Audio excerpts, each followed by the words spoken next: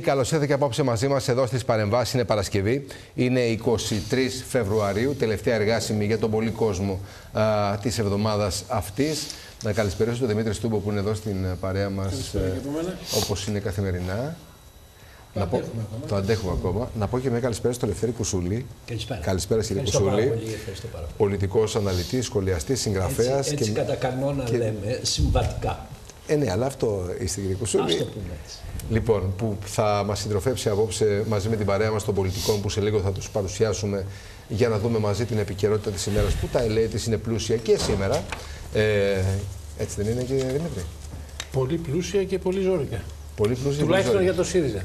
Λοιπόν, να, καλ... αυτές τις μέρες. να καλησπερίσουμε τον κύριο Φίλιππο Φόρτομα, βουλευτής της Νέας Δημοκρατίας. Ευχαριστούμε πολύ που είστε στην παρέα. Και εγώ ευχαριστώ για τη φιλοξενία, κύριε Σκυλάκη. Τον κύριο Γιώργο Γαβρίλο, βουλευτή του ΣΥΡΙΖΑ. Καλησπέρα. Από την Αργολίδα. Ευχαριστώ για την πρόσκληση. Την ωραία Αργολίδα. Βέβαια, βέβαια. Το Ε; ωραίο Ναύπλιο, αλλά και ολόκληρη η Αργολίδα. Ναύπλιο, ε, Με Άργος. τον πολιτισμό και το της, Άργος έχει την γίνει ωραίο πια. Επιδαυρία, την Ερμιονίδα, ασφαλώς. Θαυμάσια, Μια θαυμάσια. υπέροχη περιοχή που αξίζει να ζεις κιόλας. Σωστά. Ε, Ο κύριος πολλοί Δημή- κάνουν και βόλτες συχνά, συχνά πυκνά. Λοιπόν, δεν είμαστε και μακριά, βέβαια.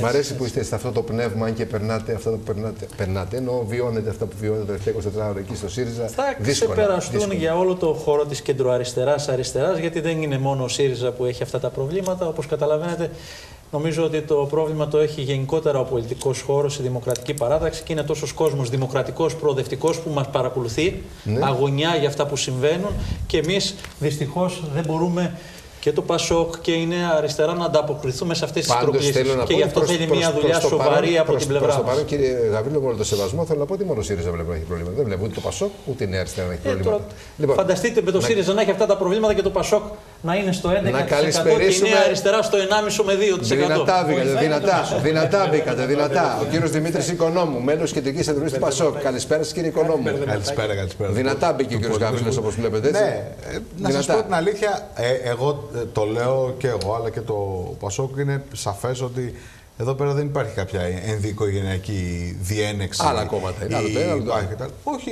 είναι. Ε, το Πασόκ δεν το αφορά το να είναι δεύτερο κόμμα ή να είναι κοντά με το ΣΥΡΙΖΑ ή τι γίνεται στο ΣΥΡΙΖΑ. Μάλιστα. Αυτό το οποίο αφορά την κοινωνία και αφορά και το Πασόκ ως ε, αντιπολίτευση Ναι. είναι η απόσταση από τη Νέα Δημοκρατία. Σε αυτό Λοιπόν, το μισό, επίπεδο. δώστε μου μας λίγο χρόνο. Ο κύριος Νίκος Φίλης. Καλησπέρα σας, κύριε Φίλη. Καλησπέρα σας. Ε, πρώην Υπουργός, στέλεχος τώρα της Νέας Αριστεράς, συνάδελφος δημοσιογράφος πολλά χρόνια. Θέλω να πω και φίλος μας εδώ και πάρα πολλά χρόνια. Έχουμε ρωτήσει το ρεπορτάζ μαζί, Δημήτρης, έτσι δεν είναι, με τον Και Νίκο τον εμείς έχουμε Φίλη. καθίσει σε πολλά θρανία μαζί. Και εμείς δεκαετίες, πριν δεκαετίες, αρκετές πριν, έχουμε καθίσει. ε, Όχι πολύ τέλη θρανία πάντως. Ναι, έχουμε συζητήσει, τα έχουμε πει. Πολύ λαϊκά. Τώρα είναι στέλεχος της Νέας Αριστεράς ο Νίκος Οφίλη. Ε, θα έχουμε χρόνο να τα πούμε. πω κάτι για αναλυτικά. τον κύριο Φίλη, Να επιτρέψτε. πείτε για τον κύριο Φίλη, φυσικά κύριε Τον Κουσούλη. κύριο Φίλη τον γνώρισα από πάρα πολλά χρόνια. Ε, τον θαύμασα σε μια ομιλία που είχε εκφωνήσει ε, σε ένα μ, κινηματογράφο εκεί κοντά στην Ιπποκράτους ε, την εποχή που φοιτητές αναζητάγαμε τέλος πάντων το μέλλον των πραγμάτων. Ε, ο Νίκος ο Φίλης είχε κάνει μια εκπληκτική ομιλία και νομίζω ότι ήταν 17 ετών. Ναι. Εντάξει, ο Νίκος είναι εξαιρετικός. Έχει- έχει Μπορεί να μην δεκαετίες. συμφωνούμε σχεδόν σε Έχει- τίποτα, έχει αλλά είναι σημασία. εξαιρετικός. Έχει Ναι, ναι, ναι. σημασία. Λοιπόν, τώρα. Ε, Συμφωνείτε σε μερικά. ε, εντάξει, μας Σε έπρεπε. μερικά πάει και η εκκλησία, ο Δώστε άνθρωπος μας. Όλοι πάμε εκεί. ξέρει να ψέλνει καλά, Ο ξέρει να κύριος ψέλνει Φόρτο καλά, μας το είναι σήμερα λίγο καταγγέλω πιο εγώ. χαλαρός, γιατί δεν, τον, δεν εμπλέκεται σε όλη αυτή την ιστορία, αλλά έχουμε θέματα που αφορούν και Χαλαρώσουμε και εσάς. την άλλη φορά. Έχει την Κυριακή, θέλω να σας πω, λειτουργία στις εκκλησίες. Είδαμε χθες τον Μητροπολίτη Πυραιό να λέει ότι όσοι ψήφισαν τον νόμο για τα ομόφυλα ζευγάρια δεν θα, κοινω- επιβάλει επιτήμιο. δεν θα κοινωνήσουν, δεν θα μπουν στην εκκλησία. Μαθαίνουμε, το ρεπορτάζ λέει ότι την Κυριακή θα υπάρχουν και άλλοι Μητροπολίτες, οι οποίοι επίσης θα σας πούν σε όλους όσους, όσοι, σε όλους όσοι ψηφίσατε αυτό το νόμο ότι δεν είστε ευπρόσδεκτοι στις εκκλησίες και όλα τα υπόλοιπα. Θα πάτε εκκλησία την Κυριακή; Προφανώς πηγαίνω εκκλησία, αλλά εκκλησία είμαστε όλοι μας. Ναι. Όλοι αποτελούμε γιατί είμαστε το πίνδυνο. Δεν πιστεύω να πάτε στον Πειραιά. Εκεί δεν Να δοκιμάσετε εκκλησιάζομαι. Είναι βουλευτής- είναι σε βουλευτής- γενικότερα είναι- πηγαίνω στον είναι νόμο βουλευτής κυκλάδων. Οπότε κυκλάδων. κάπου θα είμαι Ναι, στον ναι, κυκλάδων. νόμο Εσωτερικά, κυκλάδων. θυμούμε. Αγαπητέ Σωτήρη, αυτές οι Επιτήμιο δεν έχω συμπεριφορές από την- είναι από τη δικιά μου απολύτως, Μητρόπολη. απολύτως αντιχριστιανικές. Ναι. Η Εκκλησία είναι ένας τόπος ελευθερίας και αυτές οι προσεγγίσεις αγάπης, δεν έχουν και σχέση. αγάπης. Μα ως, ως, αφού είναι ελευθερίας είναι, και Είναι αγάπης. ο χωμεϊνισμός. Αφού είναι, αφού είναι Δυστυχώς. τόπος ελευθερίας είναι και αγάπης. Έχει, έχει δίκιο ο κύριος Κουσούλης. Είναι και- ο Δεν νομίζω, ότι, χωμεϊνισμός. δεν νομίζω Είναι- ότι η Εκκλησία Ναι. και οι χριστιανοί Ορθόδοξοι εδώ της χώρας συμμερίζονται και ταυτίζονται με τέτοιες ακραίες είπατε, κύριε Άλλοι Φίλε; λένε, άλλοι σκοτεινές όχι. Ο προσεγγίσεις. ζηλωτισμό είναι ισχυρός και στην Ελλάδα. Είναι χωμεϊνισμός. Χωμεϊνισμός, βεβαίως. Διότι η Εκκλησία διεκδικεί ένα πολιτικό ρόλο που δεν της ανήκει. Χωμεϊνισμός. ε.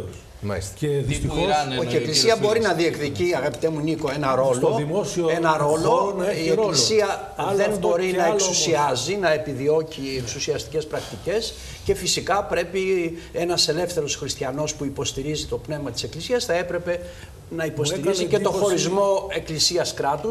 Εγώ αλλά αυτό είναι επιτρέψτε μια μου να άλλη- μια πω, άλλη Έκανε ανάγνωση. εντύπωση επιτρέψτε μου να όμως, πω, να ακούσουμε τους επιτρέψτε μου να πω ότι εγώ από τα 15 μου υποστηρίζω και μάλιστα επειδή ήμουν ένα προβληματικό παιδί. Είναι παιδί παπά Με- ο- επειδή ο- είμαι ο παιδί Ελευθέριος ιερέας, ο πατέρας μου Κουσούλης. ήταν ε, Παιδί παπά. αγρότης, έγινε ιερέα σε μεγάλη ηλικία. Ε, από τα 15 μου λοιπόν υποστηρίζω με στένος το χωρισμό κράτους και εκκλησίας. Ναι. Είναι μια πολύ σωστή Αλλά στο- πρόταση, η οποία δυστυχώς όμως έχει υποστεί Κύριε μεγάλες Φίλη, ταλαιπωρίες στη εσείς- χώρα μας. Εσείς βρεθήκατε εκτός του Υπουργείου σας ε, από Επειδή μια επέμενα σύγκρουση- στο αυτονόητο, δεν θα κάνουμε στο σχολείο μάθημα πίστης, αλλά μάθημα γνώσης. Ναι, βρεθήκατε εκτός Υπουργείου Παιδείας Απόλυτα, σε απόλυτα. μια σύγκρουση τότε με την Εκκλησία. Άλλοι σύντροφοι δεν- του όχι με κύριου την Φίλη Εκκλησία. είχαν διαφορετική με την άποψη, εξουσία. κύριε Αλλά Ξενάκη. όμως, ξέρετε κάτι. να πάω στο σημερινό Ένας, θέμα, ένας, έχεις ένας. σημασία τώρα. Ένας, ένας, ένας, ένας. Άκουσα ότι η Ιερά Σύνοδος αποφάσισε, ανάμεσα στα άλλα επιτήμια, Ναι. ότι όποιος έχει παντρευτεί με πολιτικό γάμο δεν θα μπορεί να βαφτίζει. Ήταν μια παλιότερη απόφαση που την επαναφέρει τώρα σε ισχύ. Την επικαιροποιεί. την επικαιροποιεί. Πιστεύω ότι αυτό είναι ένα πολύ επικίνδυνο μήνυμα προς την κοινωνία της Εκκλησίας.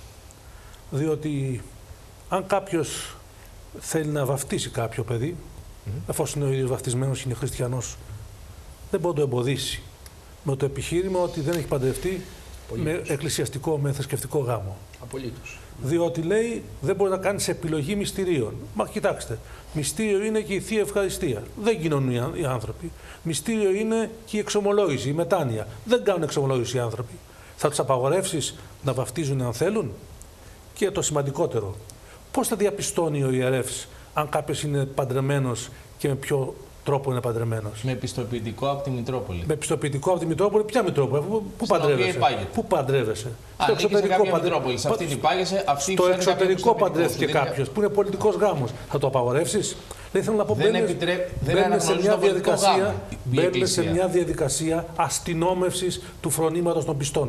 Πάντως σε Εγώ κάθε δεν το περίπτωση, ήξερα, κύριε είναι καινούργιο Ξενάκη, αυτό. Συγγνώμη, συγγνώμη, επιτρέψτε κύριε μου. Ναβίδη, Είναι συγχωρείτε. παλαιά Αυτό απόφαση. είναι Πάντοτε από το- ίσχυε από αυτό, το κύριε 83 Ξενάκη, που δεν είχε είναι. όμως- Όχι, όχι, ότι ήταν σήμερα με όμως- κάποιο- 83 ήταν ισχύει, αυτό όμως- δεν είναι τωρινό. Ότι σήμερα επικαιροποιήθηκε με κάποιο Ναι, τρόπο βεβαίως. που δεν γνωρίζω. Τα- Αυτό ναι, τα δεν το έχουμε ήξερα. πει. Όλες Όλα αυτές αυτά. οι πρακτικές είναι βαθιά αντιχριστιανικές. Ναι. Είναι, βρίσκονται απέναντι στο Ευαγγέλιο. Περισσότεροι από τους Μητροπολίτες, οι Μητροπολίτες ορισμένοι, όχι όλοι, γιατί υπάρχουν και φωτισμένοι Μητροπολίτες, Να το πούμε. θεωρούν ότι είναι, ότι είναι Βεβαίως. φορείς εξουσίας, ενώ δεν έχουν καμία σχέση με αυτό. Οι άνθρωποι δεν ακολουθούν το πνεύμα του Ευαγγελίου, που είναι, το Ευαγγέλιο είναι ένα μανιφέστο ελευθερίας και όποιος δεν το έχει αντιληφθεί δεν έχει σχέση με το χριστιανισμό. Και το χειρότερο η Εκκλησία δεν έβγαλε μαθήματα από την πανδημία. Όπου εκεί και αν είχε συγκρουστεί με το κοινό αίσθημα και για την προστασία της υγείας με τις διάφορες Ε, Καλά. Εδώ όμως, κύριε φίλη, με Άρα, συγχωρείτε και να λοιπόν, πείτε θέλω να όχι στην πω- κουβέντα, μπήκαν και πολιτικοί στην κουβέντα. Βεβαίως, Υπήρχε, μπήκαν- α, θυμάμαι βεβαίως. την κυρία Λινού να λέει για παράδειγμα ότι δεν υπάρχει καμία Επαναλαμβάνω. απόδειξη ότι η Φερρυπίνο Κορονοϊός κολλάει από τη Εθνική Άλλο, Κοινωνία. άλλο Σωστά. λοιπόν ένας Ναι. πολιτικός Μπήκαν και ένα οι πολιτικοί στην επιστήμονας κουβέντα. και άλλο μια εκκλησία. Ένας Κολλάκης κύριο και παράγοντα. παιδιά. Πολάκης. Κύριε Ξενάκη, πάντως σε κάθε περίπτωση να ξεκαθαρίσουμε τα πράγματα. Δεν συζητάμε για κάποιο θεολογικό, φιλοσοφικό ζήτημα εδώ. Μας απασχόλησε μια υπόθεση καθαρά ανθρωπίνων δικαιωμάτων. Και ήταν Αστικά υπόθεση της δικαιώματα. πολιτείας, ήταν υπόθεση της πολιτείας να παρέμβει και να δει τα ζητήματα αυτά. Βέβαια, το μεγάλο και το σοβαρό πολιτικό ζήτημα για τη χώρα είναι ότι έχουμε έναν πρωθυπουργό ο οποίος επιθυμούσε να φορέσει το μανδύα του μεταρρυθμιστή, του προοδευτικού, με τις ψήφους τη αριστερά και τη αντιπολίτευση. Γιατί τους δώσατε. Και γιατί 160, 160 Γιατί θα, το δώσατε δούμε, θα, τις το δούμε, ψήφους θα το αυτές. δούμε το πολιτικό. Όχι, γιατί όχι, όχι. όταν μιλάμε για ζητήματα Δέστε το, ταυτοτικά μια που και πήγαμε στην αρχή, κουβέντα, δεν πειράζει. δεν μπορεί Τις να ψήφους παίζει, αυτές. κύριε Κουσούλη, Όχι, δεν δεν είναι. μπορεί να κάνει Δεν μικροπολιτική. είναι έτσι. Μου Λοιπόν, επιτρέπετε τώρα με όλο δεν το μπορεί να σεβασμό, κάνεις- εσεί είστε Σωστά, αντιπρόσωπο. κύριε Ξανάκη, Παρακαλώ, Εγώ απλώ δεν μπορεί να σχολιάζω. κάνει μικροπολιτική. Δεν σε γίνεται- ζητήματα που για την αριστερά είναι δεν ταυτοτικά, ασκείται είναι όμως ζητήματα έτσι. αρχών, είναι πο- πολιτική Ορθώς, την οποία έχουμε ορθώς. υπερασπιστεί. Κομματική Κύριε, πειθαρχία όμω παρακαλώ, είχατε θέσει, μια τάξη αλλά δεν στην την τήρησαν κουβέντα. κάποιοι, κύριε Γαβρίλο. Συγγνώμη. Και τώρα. βρεθήκαμε, βρεθήκαμε στο εξής παράδοξο. Ο Πρωθυπουργός να ζητά από τους βουλευτές του να απέχουν από την ψηφοφορία και οι δε υπουργοί του να απέχουν ως Ωραία. εισηγητές Εσείς του είχατε Γιατί βάλει συμπράξατε. κομματική πειθαρχία και δεν υπήρχε Γιατί κα- συμπράξατε. καμία, Στην περίπτωση καμία αυτή- Δεν επίπτωση μπορεί να για όλους παίζουμε οι οποίοι συγγνώμη, απήχαν. ένα λεπτό, ένα λεπτό. Ακουγόμαστε. Δεν μπορούμε να παίξουμε παράκληση. Δεν είναι αυτό, ένα Ένας, λεπτό. ένας είναι Ένα ενδιαφέρον σε λεπτό. κουβέντα. Από τη ένας, στιγμή, ένας. Θα ήταν από τη εύκολο για στιγμή μας σας μικροπολιτικά. παρακαλώ, Παρακαλώ, σας παρακαλώ. Είναι ένας, πολύ ένας, σημαντικό ένας, θέμα ένας, αυτό. ένας, ένας, ένας. Σημαντικό θέμα λειτουργίας του Κοινοβουλίου και της έκφρασης των εκλεγμένων αντιπροσώπων. Ε, ο Πρωθυπουργός περίπου δίνει την άδεια, ανεπίτρεπτο, στους βουλευτές του να απέχουν, δηλαδή να βρίσκονται εκτός του χώρου της απόφασης. Φανταστείτε τώρα στην αρχαία Αθήνα, η- στην εκκλησία του Δήμου, να λαμβάνεται μια απόφαση για μια πάρα πολύ σοβαρή εκστρατεία και να υπάρχει κάποιος να λέει ότι εγώ θα βγω από την αίθουσα και να αποφασίζει για την Κύριε εκστρατεία Κουσούλη, το και το σημαντικό θάνατο των είναι άλλων. άλλο. Ναι. Ένα λεπτό, ένα λεπτό, αγαπητέ μου κύριε φίλη. Ε, το γεγονός λοιπόν ότι συμπράτετε όλοι σε αυτή τη λειτουργία, στην πραγματικότητα είστε συνυπεύθυνοι σε αυτή την υπονόμευση. Το κρίσιμο θέμα είναι ότι έχουμε τη πάρουμε λογική όλοι της το λόγο. Όλοι, κομματικής όλοι, όλοι, όλοι, όλοι, όλοι, πειθαρχίας. θα- θα- όλοι, όλοι. Το Αφού ξεκινήσαμε Σύνταγμα αυτό, δεν πειράζει. αναγνωρίζει απεριόριστη ελευθερία συνείδησης στο Και βουλευτή. γνώμη στο βουλευτή. Αυτό. Συνεπώς, το τότε βγαίνει ο Πρωθυπουργός και λέει έχουν δικαίωμα να κάνουν αυτό ή το άλλο. Βγαίνουν αρχικοί κομμάτια και λένε όλοι θα έχουν κομματική γραμμή. Αυτό κατά τη γνώμη μου είναι μια ομή παραβίαση του συντάγματος και της λειτουργίας της κοινωνική. Με τι συνδέεται αυτό, κύριε Φίλη, συγγνώμη, με τι συνδέεται; Συνδέεται με τη φεουδαρχική φύση του λεγόμενου πολιτικού συστήματος. Δεν έχουμε δηλαδή πολιτικό σύστημα δημοκρατικό στο βάθος. Έχουμε ένα προσχηματικό δημοκρατικό σύστημα, κατεφημισμόν πολιτικό σύστημα. Δεν έχει καμία σχέση με τα συστήματα, πολιτικά συστήματα λειτουργίας, παράδειγμα στη Γαλλία. Εδώ ο αρχηγός είναι ο παντοδύναμος άρχον, ο σαν να είναι φεουδάρχης στο φεουδό του. Έτσι λοιπόν η χώρα έχει βήματα δημοκρατίας να Οι κάνει. βουλευτές όμω. Και- Μα, ε, Άρα έχει, πάμε προκύψει αυτό, μια, από εδώ έρχομαι. έχει Είναι η προκύψει ευθύνη, μια άρα- συνθήκη, έχει προκύψει μια συνθήκη Άρα- υποταγής. Από τη στιγμή που δεν υπάρχει δημοκρατική λειτουργία στα κόμματα, Βεβαίως. Ο, η διαδικασία ανέλυξης των εκλεγμένων αντιπροσώπων συνδέονται απολύτως με τον αρχηγό. Άρα υπάρχει μια συνθήκη υποταγής. Τίθεται, τίθεται είναι Κάνουμε μια φιλολογική όταν, κουβέντα τώρα, όταν να ένας τοποθετηθούμε υπουργό. όμως. Ναι, όλοι, όλοι, όλοι, όλοι. Το μόνο θέμα Έστε μια που κουβέντα τίθεται και είναι να πάμε στους όταν υπόλοιπους, ένας παρακαλώ. υπουργός, ο οποίος βάσει του νόμου και του συντάγματος οφείλει να υποστηρίζει την κυβερνητική πολιτική, και ένας υπουργός μάλιστα που είναι αρμόδιος για το θέμα που συζητούμε, ίσως και εισηγητής για την οικογενειακή πολιτική υφυπουργός, όταν αυτός δεν υποστηρίζει ένα νομοσχέδιο. Λοιπόν, μια τελεία Εκεί βάλτε, είναι το να πολιτικό ακούσουμε θέμα τους το υπολείπους δεύτερο. παρέας. Παρακαλώ, πάμε στην Ε, κυρία ε, Οικονόμου και ε, μετά ένα, στον κύριο Φορτζά. ένα, ένα γρήγορο σχόλιο με βάση αυτή την θεωρητική συζήτηση που έγινε Δεν είναι πριν, το οποίο θεωρητική, είναι όμως πολιτική, έχει... άκρος πολιτική. Εντάξει, για τον Για, για, αρχηγό. για, γιατί για, το, είδαμε για, χθες το, στο για το Πρωθυπουργείο, φεδεαρχικό στυλ την της... κυβερνητική ε, πλειοψηφία απούσα. Το, λέω- το, Είναι πο- άκρος ε, έχει, πολιτικό. έχει κάποιο ενδιαφέρον διότι αν πράγματι ιστορικά και φιλοσοφικά το πολιτικό σύστημα είναι έτσι δομημένο, ε, τότε τα πολιτικά μηνύματα των ε, βουλευτών της Νέας Δημοκρατίας είναι πολύ πιο σημαντικά από το εάν πράγματι ε, το πολιτικό σύστημα ακολουθούσε το Σύνταγμα Γιατί και το αυτά που είπε ο δεύτερο, κ. γιατί το- Στέλης. Γιατί το δεύτερο. Διο... Θα σας πω κάτι. Διότι αν πράγματι έχουμε ένα φεδραρχικό σύστημα όπου το αφεντικό, δηλαδή ο Πρωθυπουργός εν προκειμένου, ε, δίνει τη γραμμή και όλοι οι άλλοι υπακούν, Ναι. αν πράγματι είναι έτσι ε, και είναι πιο ισχυρό αυτό ε, από το τι λέει το Σύνταγμα και τι λέει, ποια είναι η φιλοσοφία του Συντάγματος των Ελλήνων, τότε η απόφαση των βουλευτών της Νέας Δημοκρατίας, πολλών βουλευτών της Νέας Δημοκρατίας, να μην ψηφίσουν, έχει ακόμα πιο έντονα πολιτικά Ναι. Κύριε μηνύματα. Οικονόμου, Και θα μου συγγνώμη, επιτρέψετε Αυτό να, ισχύει για το κόμμα σας. Πολύ λιγότερο και θα σε εξηγήσω. Τι πολύ λιγότερο; Αλλά ναι, σε ένα βαθμό και για το κόμμα. Ένα μου. στους τρεις βουλευτές Σε- του Πασόκ δεν σε- ψηφίσανε. Σε ένα βαθμό και για το κόμμα θα σε εξηγήσω όμως τη Ναι, διαφορά. δεν ψηφίσανε. Θα σε εξηγήσω όμως τη διαφορά. Διότι εκτός από αυτό το συνταγματικό το οποίο ανέφερε ο κύριος Φίλη, γιατί πώς είναι δομημένη η δημοκρατία μας, ανεξάρτητα αν ε, λειτουργεί έτσι εθιμικά ή όχι, με βάση την λογική του συντάγματος, ε, υπάρχει και, υπάρχουν και προγραμματικές δηλώσεις. Δηλαδή υπάρχει μια ακραία υποκρισία από τους υπουργούς της Νέας Δημοκρατίας οι οποίοι έχουν δεχτεί να κάτσουν στι υπουργικές τους καρέκλες, στους υπουργικούς στόχους, να υπηρετήσουν τις κεντρικές κατευθυντήρε γραμμές που έβαλε ο, ο Πρωθυπουργός με τις προγραμματικές δηλώσεις. Αλλά όταν έρθει η ώρα πράγματι να την υπηρετήσουν και να ψηφίσουν αυτά που οι προγραμματικές διαφοροποιούνται, δηλώσεις έχουν λέτε. πει, Να διαφοροποιούνται. διαφοροποιούνται. Αλλά όταν είναι να πάρουν τις υπουργικές, δεν υπάρχει Ωραία, πολύ ωραία. Το αυτή η βάλε, διαφοροποίηση. το βάλε, το Θα σας πω και δεν θα ανοίγω άλλο θέμα, απλά να το βάλω σαν αστερίσκο. Ακριβώς η ίδια υποκρισία υπάρχει και σε αυτό που κάνουν για την παιδεία. Καλά, μην το ανοίξουμε τώρα. Μετά, μετά, μετά. Θα πάμε και σε αυτό μετά. Καταρχήν Λοιπόν, να κύριε πω ότι είμαι Φόρτωμα, πολύ περήφανος μιας και υπήρχε κυβερνητική εσείς το προ- ψηφίσατε το υπήρχε- νομοσχέδιο, ναι. σωστά; Και είμαι πολύ περήφανος γι' αυτό καταρχήν. Γιατί Για τα ήταν, ομόφυλα ζευγάρια, Για τα ναι. ομόφυλα. Γιατί ήταν καταρχήν μια κυβερνητική πρωτοβουλία. Μια πρωτοβουλία της κυβέρνησης. Ναι. Έτσι είναι νομοθετικά. Ήταν δι- οι αγώνες μιας κοινότητας με συγκεκριμένες επιδιώξεις. Όταν είχατε την ευκαιρία, κύριε φίλοι, δεν το φέρατε. Κάνετε λάθος. Δεν, το φέ- Δεν δεν θυμάστε φέρατε καλά. το πολιτικό Και γάμο πάλι για τα επιτρέπετε. ομόφυλα, δεν τον φέρατε. Φέραμε Μισό το λεπτό, μισό σύμφωνο λεπτό. συμβίωσης, Αφήστε με να το τοποθετηθώ. οποίο δεν σας το διακ- ψήφισε το κόμμα σας. Λοιπόν, Δεν το λοιπόν, ψήφισε το κόμμα σας. λοιπόν, Ξεχνάτε. να μιλήσει, Πήραμε, δεν έχει λοιπόν, πει μια κουβέντα. κυβερνητική Δεν έχει πει κουβέντα, πρωτοβουλία. μισό λεπτό. Δεν έχει πει κουβέντα. Βγήκε η κυρία Ζωή Κωνσταντοπούλου στη Βουλή και είπε. Γιατί ήταν ε, τότε μαζί σας, εάν θυμάμαι καλά. Και ήσταν και εσείς τότε και στο ΣΥΡΙΖΑ. Βγήκε λοιπόν και είπε ότι ήταν μέσα στην νομοθετική διαδικασία, μέσα στο, μέσα στο νομοθετικό σχεδιασμό και δεν το φέρατε. Γιατί, Γιατί τότε είχατε τον κύριο Πάνο Καμένο, σύμμαχό σας κυβερνητικό. Εμείς λοιπόν πήραμε μια κυβερνητική πρωτοβουλία την οποία φέραμε στη Βουλή, ιστορική παράδειξη της Νέας Δημοκρατίας και όντως νομοθετικά αυτό πρέπει να μας το πιστώσετε με τη συνένεση πέντε κομμάτων με όποιες διαφοροποίησεις και αν έχουμε γιατί εμείς ε, μας διέπει ανθρωπισμός και μια φιλελεύθερη δημοκρατία και αυτό κάναμε με ανοιχτό διάλογο στο κόμμα μας. Αυτό και κάναμε λοιπόν πέρα από τις όποιες διαφορές μπορεί να έχουμε μέσα στο κόμμα μας. Με ανοιχτό διάλογο φανερά και δημοκρατικά χωρίς να επιβάλλουμε κομματική πειθαρχία, έναντι του ΣΥΡΙΖΑ που την επέβαλε, υπήρχαν βουλευτές οι οποίοι απήχαν και δεν υπήρχε καμία κύρωση. Και έρχεται εδώ ο κύριος Γαβρίλο και μας κουνάει το δάχτυλο. Είναι απίστευτα τα πράγματα.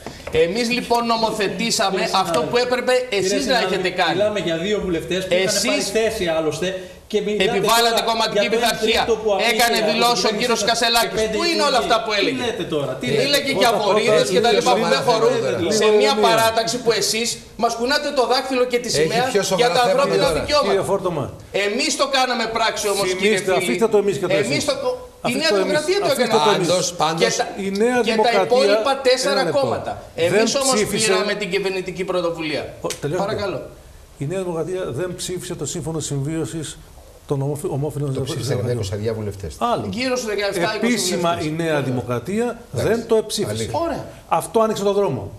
Για να γίνει αυτό που είναι Ξαναλέω, σήμερα. η κυρία Ζωή Ένα λεπτό. Κωνσταντοπούλου στη Βουλή. Δεν είναι παρούσα η κυρία Κωνσταντοπούλου. Μην Το δεν- είπε στη δεν Βουλή πειράζει. δημόσια, Δεν κύριε καλούσε, Βουλή. λοιπόν.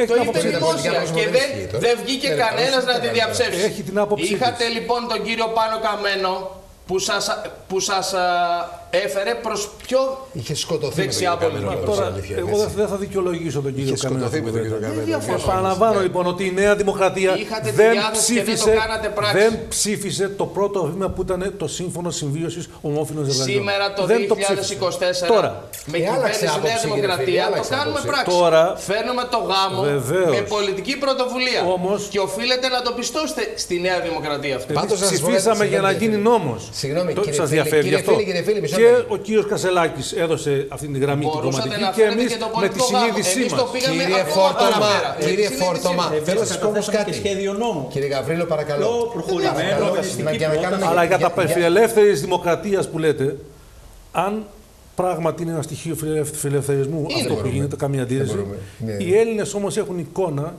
και βιώματα μιας επιθετικής πολιτικής εις βάρος των δικαιωμάτων τους. Μη- μισό, Και μισό, αναφέρομαι μην- μην σε ανοίξουμε πάλι μεγάλες τα θέματα. κατηγορίες. Κύριε Αλλά φίλε, λοιπόν, μην, μην παράκληση έχετε το, το θερμή. λάβαρο του, πολι- του γάμου. Δεν είπα τον- αυτό. όχι. Εμείς μην βγάζετε όμως γενικά νομοθετούμε συμπεράσματα. και για τις Είσαστε μια μειονότητες. αυταρχική κυβέρνηση. Καμία- Οι φοιτητές καμία ξέρουν τι ξυλοτρώνε αυτές τις Καμία μέρες αυταρχική για το αίτημα κυβέρνηση. να μην υπάρξουν Λοιπόν, ιδιωτικά πανεπιστήμια παράκληση, στη μην χώρα μας. ανοίξουμε δέκα θέματα. Οι αγρότες ξέρουν τι όχι, τραβάνε όχι, με όχι, απειλές. Αυταρχισμός δεν Αυταρχισμός είναι να εσείς κάνουμε του είδους. διαλύσεις σε δημόσιους χώρους και σε Όχι, δημόσια κτίρια. όχι, δεν είναι αυταρχισμός όχι, αυτό. δεν Μην είναι, ανοίξουμε δεν είναι, δέκα δεν είναι. θέματα Μειοψηφίες μαζί. είναι αυταρχισμός να κάνουν κουμάντο Στείλτε σε την λεφτά. πανεπιστημιακή αστυνομία να τους βάλουν έξω. Συγγνώμη τώρα. Στείλε την πανεπιστημιακή Αυταρχισμός δεν είναι, αστυνομία. δηλαδή, μειοψηφία Έξι, να κάνουμε έξι μάλλον. χρόνια. Δεν είναι Έξι επιτροπή, δεν είναι χρόνια. μειοψηφία. Έξι- Είναι η έξι απόφαση χρόνια γενικής δεν είναι βουλευτής. δημοκρατία. Λοιπόν, λέτε δεν τώρα μα ακούει να βο- κανένας. να βοηθήσουμε αυτούς που βλέπουν, να τους βοηθήσουμε. Λίγο ησυχία δεν μας ακούει κανένας. Καταρχήν θέλω να σα πω κύριε Φόρτωμα ότι το υπερασπίζεται με τόση ζέση αυτό το οποίο έκανε η Νέα Δημοκρατία. Το πιστεύω. Το Και οποίο έχει ένα ψήφισα, τεράστιο βέβαια. πολιτικό κόστος, μεγάλο πολιτικό κόστος, το οποίο προκύπτει και στις δημοσκοπήσεις. Το πολιτικό κόστος. Αναρωτιέμαι με, γιατί πώς το, πώς το Ο αντιμετωπίζει. ρόλος ενός ηγέτη και ενός πολιτικού κόμματος όταν κυβερνάει είναι πολλές φορές να γίνεται και δυσάρεστος ακόμα και στα δικά του πολιτικά ακροατήρια όταν θεωρεί ότι είναι καλό για την Μπράβο πολιτεία σας, και μπράβο για το σας. ελληνικό κράτος. Μπορεί να μην συμφωνώ μαζί σας, αλλά Την μπράβο τόλμη σας να που δείξετε σε υπερασπίζετε άλλα την θέματα. απόψη σας. Όχι να συγκαλύπτετε το Γιατί θέμα των σας τεμπών. ενοχλεί, κύριε. Τα τέμπη είναι η τόλμη. Τώρα, ε, πιάσαμε Κλείσατε τα άρον τέμπη. άρον Εντάξει, την εντάξει. Εξεταστική Επιτροπή Εντάξει. για να μην πάει ο κύριος Καραμαλή να καταθέσει τη δικαιοσύνη. Αυτά είναι τα Να μεγάλα τα πιάσουμε θέματα. Μετά αυτά. 57 νεκρά παιδιά ζητάνε μια Θα δικαίωση. πάμε. Και Κύριε εσείς τι φίλοι, κάνετε, παράτηση, συγκαλείτε είναι την πολύ- υπόθεση. Είναι πολύ σοβαρό θέμα. Και την Πέμπτη θα γίνει μια μεγάλη κινητοποίηση που διοργανώνουν συνδικάτα και αγροτικοί φορείς και οι γονείς των παιδιών για να μην θαυτεί αυτή η ιστορία. Και έχουν μαζευτεί, με τα Δεν παιδιά. θα βγει από την- και έχουν από την μαζευτεί κυβέρνηση δεν θα βγει πάνω κάτι από τέτοιο. Δυστυχώς. 600.000 Ήρθε ο κύριος υπογραφές. Καραμαλής στην, στην Επιτροπή και μίλησε. Και το κόψε, δεν πήγε στη δικαιοσύνη. Λοιπόν, με το παράκληση. Στάλι. Δεν εστάλει. Μα Δεν- νομοθετικά στην δεν- Επιτροπή δεν οφείλει να εστάλει- έρθει. δεν Μπορούμε να πούμε εστάλει κι εμείς καμιά η κουβέντα. κατάθεση στη δι- Ως η πολιτική, κατάθεση- κύριε Νίκο. η Εγώ να κατάθεση γραμματίσω, του κ. δηλαδή. Καραμαλή δεν εστάλει στη δικαιοσύνη. Το απαγορεύσατε. Οκ. Εσείς. Μετά Ποιος το έχουμε, έχουμε και απαγορεύει; μετά. Απλά- Πλειοψηφία. απλά- απλά δεν κάνατε Μπορώ να πω επί του κριτική. θέματος μια κουβέντα ή Εξεταστική απαγορεύεται; Κύριε, παρακαλώ, λίγη μια τάξη να βάλουμε. Στην Επιτρέπετε; κουβέντα. Ωραία ζωή. Επειδή, κουβέντα, να βάλουμε επειδή τάξη, κατά λοιπόν. βάση, στο επί Λίγο της αρχής ηρεμία. μιλάω, ασχέτως των πολιτικών εκκρεμωτήτων, αντιθέσεων και επιλογών, να ξαναπούμε, επειδή νομίζω όλοι οι παρευρισκόμενοι απόψη, περίπου, λιγότερο ή περισσότερο, καταλαβαίνουν ότι αυτό ήταν ένα βήμα προς τα μπρος. Ασχέτως πώς το έφερε η Νέα Δημοκρατία, τι έκανε ο ΣΥΡΙΖΑ, τι πριν. Να θυμίζουμε στους Να πει συμπολίτες ένα μας- μπράβο ο κύριος Φίλης, ο κύριος Γαβρίλος, Καλά, γιατί είναι μια ο κύριος πρωτοβουλία. Φίλης λέει την πολιτική του Εντάξει, θέση, την το πολιτική. καταλαβαίνω. Ωραία, Εσεί τη αφήστε δική να σας. το θέλει. Εγώ άλλο πάω να πω Δεν τώρα. χαρίζεται τίποτα. Το Αλλά κατακτάει αφήστε- μια αφήστε κοινότητα. να Μα το δεν θέλει. χαρίζουμε σε μάχη. τίποτα.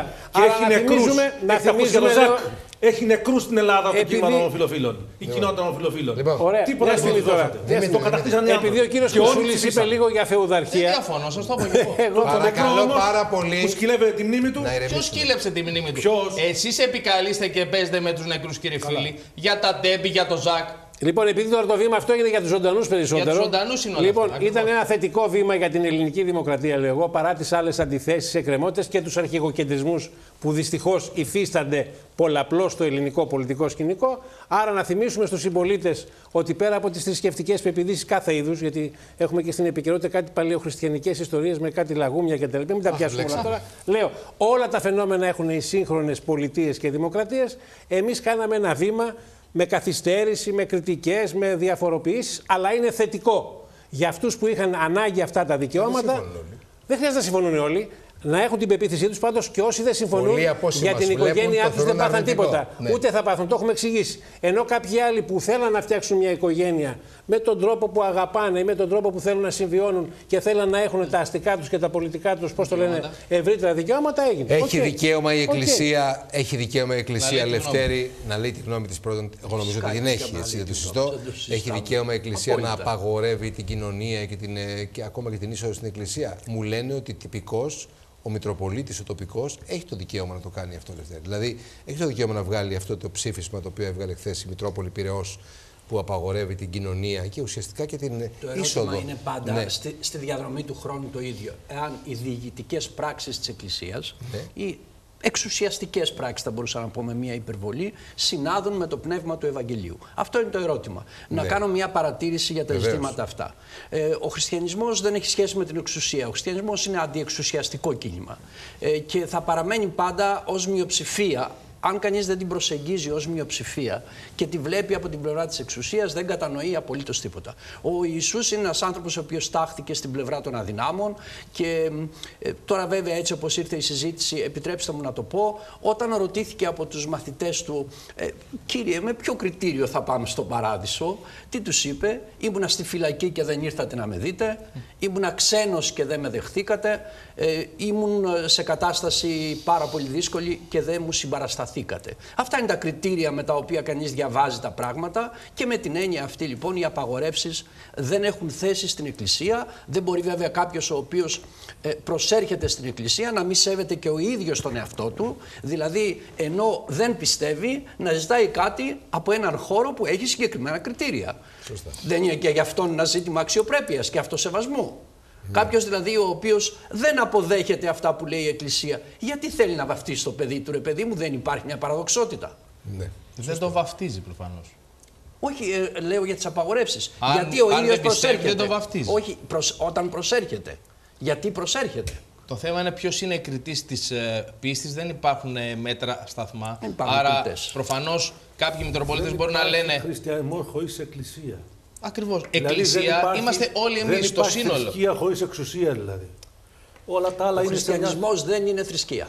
Ξαναλέω είναι, όμως. είναι θρησκεία και η εκκλησία είναι χριστιανισμός εξουσία. δεν είναι θρησκεία. Και η εκκλησία είναι εξουσία. Αυτή αυτό, αυτό είναι το η θέμα. μεγάλη συζήτηση. Και Ο δυστυχώς χριστιανισμός στην δεν είναι Ελλάδα θρησκεία. Δεν είναι απλώς Η ανθρωπότητα εξουσία, δεν είχε είναι ανάγκη- κρατική Ναι, εξουσία. ναι, Συγγνώμη, Στην κύριε Ελλάδα Φίλη, είναι δεν- και κρατική εξουσία. Παίρνουμε Θα μου ένα-δύο πείτε ότι αυτό είναι παραδείγματα διαστροφή- Μητροπολιτών. Διαστροφή του μηνύματος του χριστιανισμού. Ο Να το- χριστιανισμός δεν είναι είναι μια θρησκεία. συζήτηση άλλη. Δεν Στην είχε πράξη ανάγκη τι είναι; ανθρωπότητα από Στην μια πράξη ακόμη τι είναι; θρησκεία. Δεν είναι Στην μόνο ο πράξη τι είναι; Πυραιός. Υπάρχουν και άλλοι Μητροπολίτες οι οποίοι δεν, δεν ασπάζονται την ίδια ρητορική. Μην είμαστε Κάντε λοιπόν μια τέτοια αφοριστικοί συζήτηση. συνολικά για Είναι την ο Εκκλησία. χριστιανισμός θρησκείας. Μην βάζουμε λοιπόν ένα Μητροπολίτη που έκανε μία δήλωση για τη δικιά του Μητρόπολη και βάζουμε ε, σε όλο σύνολο συνολικά Πάντως, την Εκκλησία. θέλω να κάνω Υπάρχουν και μια, άλλες μια Μητρόπολεις οι συνηγορία οποίες για τον δεν έχουν την συνάδελφο ίδια ρητορική. Ενόπλης, Συγγνώμη τώρα. τον κύριο Φίλη. Ε, μου εξηγούσε πολλές φορές και νομίζω θα το ξαναπεί, θα το επιβεβαιώσει, ότι και η ιεραρχία και οι ιερείς πρέπει να κινούνται κατ' οικονομία και με την έννοια της αγάπης και με την Υπάρχουν έννοια και της, φωτεινά της παραδείγματα, αγκαλιάς. κύριε Σωστά. Στούμπο, Έτσι δεν σε έπρεπε αυτά να τα είναι. οποία λέτε.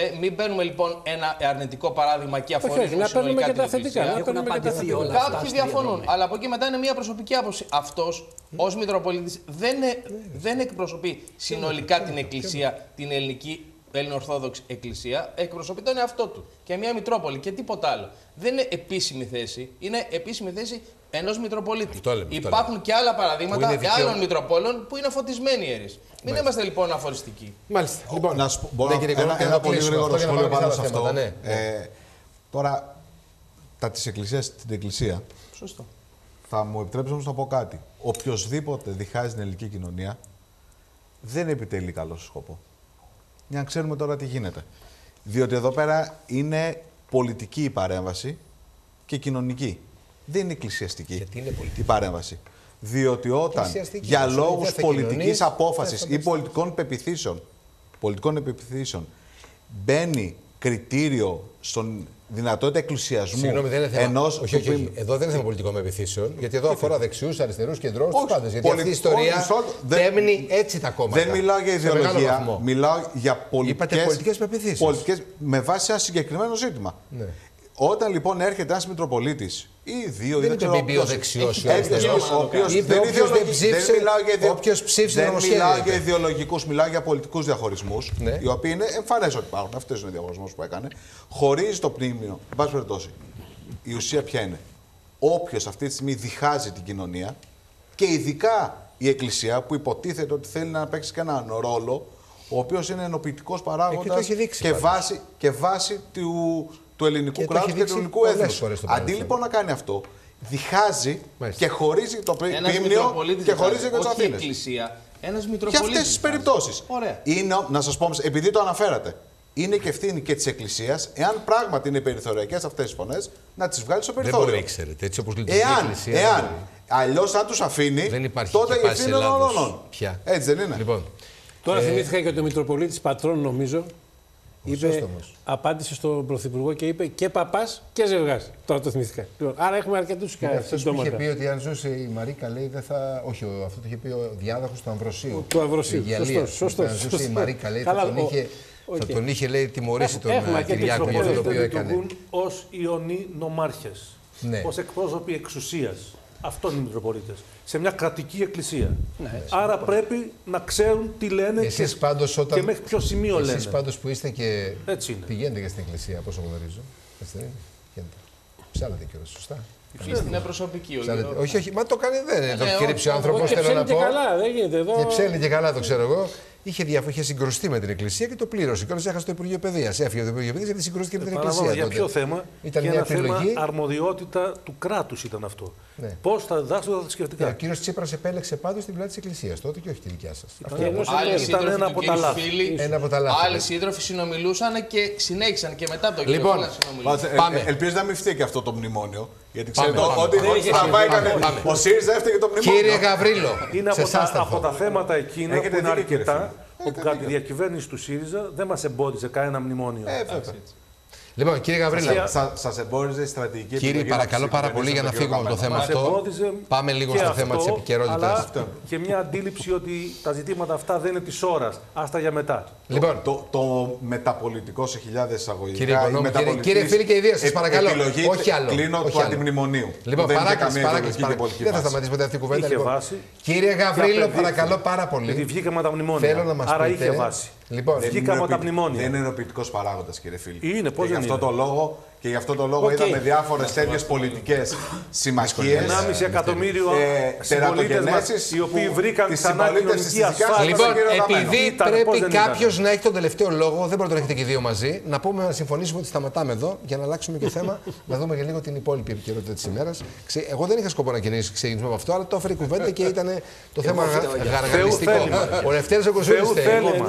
Ο Λευτέρης Ογκοσούλης. Θεού θέλημα. Επιτρέποντο ξενάκι όμως. Λοιπόν. Το Ούτως ή ξενάκι άλλως θέλω μια να- συζήτηση πω για να εγώ; Είναι ενδιαφέρουσα πρέπει να έχει κάποια στοιχεία Εντάξει, υπάρχει, προβοκάτσια. υπάρχει. Λοιπόν, σο- συμφωνώ μαζί σου. Εσύ το ξέρεις πιο καλά από μένα. Άλλωστε, έχεις- το έχεις γράψει κιόλας. Λοιπόν, ε, κύριε Γαβρίλο, έρχεστε από το. ήσασταν στο Τάικ Βοντό. Ναι, ναι, ασφαλώς. Στο Τάικ Βοντό. Ε, υπάρχει μεγάλη ένταση με το ΣΥΡΙΖΑ. Εγώ προσωπικά θέλω να σας πω ότι καλύπτοντας πάνω από 35 χρόνια το πολιτικό ρεπορτάζ και κυρίως στον χώρο της Νέας Δημοκρατίας που είχαμε πάρα πολλές αλλαγές αρχηγών στη Νέα Δημοκρατία. Άλλαξε πάνω από 10 αρχηγούς έχει αλλάξει η Νέα Δημοκρατία. Αυτό που ζει ο ΣΥΡΙΖΑ τον τελευταίο χρόνο, προσωπικά εγώ δεν το έχω ξαναδεί. Εδώ είναι ο Λευτέρης ο οποίος το έχει ζήσει ω ως δημοσιογράφος, όχι, ως παρατηρητής Κατά από κάποιο διάφορες θέσεις σημαντικές. Δεν Έχω ξέρω αν το έχεις ζήσει ασχοληθεί με το εσύ. ΣΥΡΙΖΑ πάρα Σε αυτή την κλίμακα που το ζούμε τώρα, δεν το έχουμε ζήσει. Όχι, αυτή, αυτή η κατάσταση είναι πρωτόγνωρη. Πρωτόγνωρη, δεν Ναι. είναι. Πρωτόγνωρη. Το Πασόκ το έχεις ζήσει όμως. Κύριε Ξενάκη, Τόσο πολύ Άλλου αρχηγός τύπου. να Κρίση ήτανε. αμφισβητείτε την επόμενη μέρα της εκλογής Κρίση δεν έχει ήταν. ξαναγίνει. δεν υπάρχει Ξεχάσατε τη, αμφιβολία τη διαμάχη με τον Βενιζέλο, το Σιμίτη το και τον Παπανδρέου. Την ξεχάσατε; Συμφωνώ, αλλά Ήταν ποτέ... άλλη φύσεως. Να, να, ως Πασόκ Όχι, θα κύριε το, θα το Οικονόμου, όχι, αναφέρω. όχι, όχι, μετά, μετά, μετά. Αλλά δεν ήταν έτσι, όχι. Πάμε κύριε Δεν Γαβρίλο. Ήταν έτσι. Δεν ήταν έτσι. δεν, όχι. δεν Δεν ήταν υπάρχει έτσι. αμφιβολία ότι ο ΣΥΡΙΖΑ βιώνει μια κρίση και μια εσωστρέφεια μηνών. Έχουμε τέσσερις εκλογικές αναμετρήσεις στις οποίες έχει ιτηθεί. Έχουμε την αλλαγή του αρχηγού του που έγινε με τον τρόπο που έγινε, που ασφαλώς ήταν ένα σοκ για τον κόσμο του ΣΥΡΙΖΑ και φαίνεται ότι μετά Κύριε από Γαβρίλο, με 4-5 συγχωρείτε, με συγχωρείτε, με συγχωρείτε. Μου λένε ότι δεν ακούγεστε. Μου λένε ότι δεν ακούγεστε. Οπότε, θα, όχι, θα το φτιάξουν τώρα στην άλφη. Μέχρι να το φτιάξουν, νομίζω ότι θα προχωρήσουμε την κουβέντα, να πάμε σε διάλειμμα. Πέστε μας τι θέλετε. Ό,τι θέλετε. Ωραία. Να πάμε σε ένα πολύ σύντομο διάλειμμα, σύντομο διάλειμμα και αμέσως μετά να επιστρέψουμε να φτιάξει το μικρόφωνο σας και να είμαστε εντάξει. Διάλειμμα δύο λεπτών, επιστρέφουμε.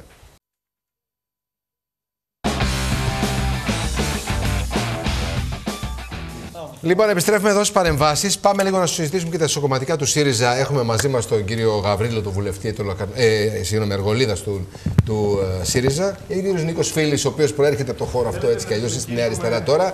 Και βέβαια και οι υπόλοιποι προσκεκλημένοι μας θα το κουβεντιάσουμε.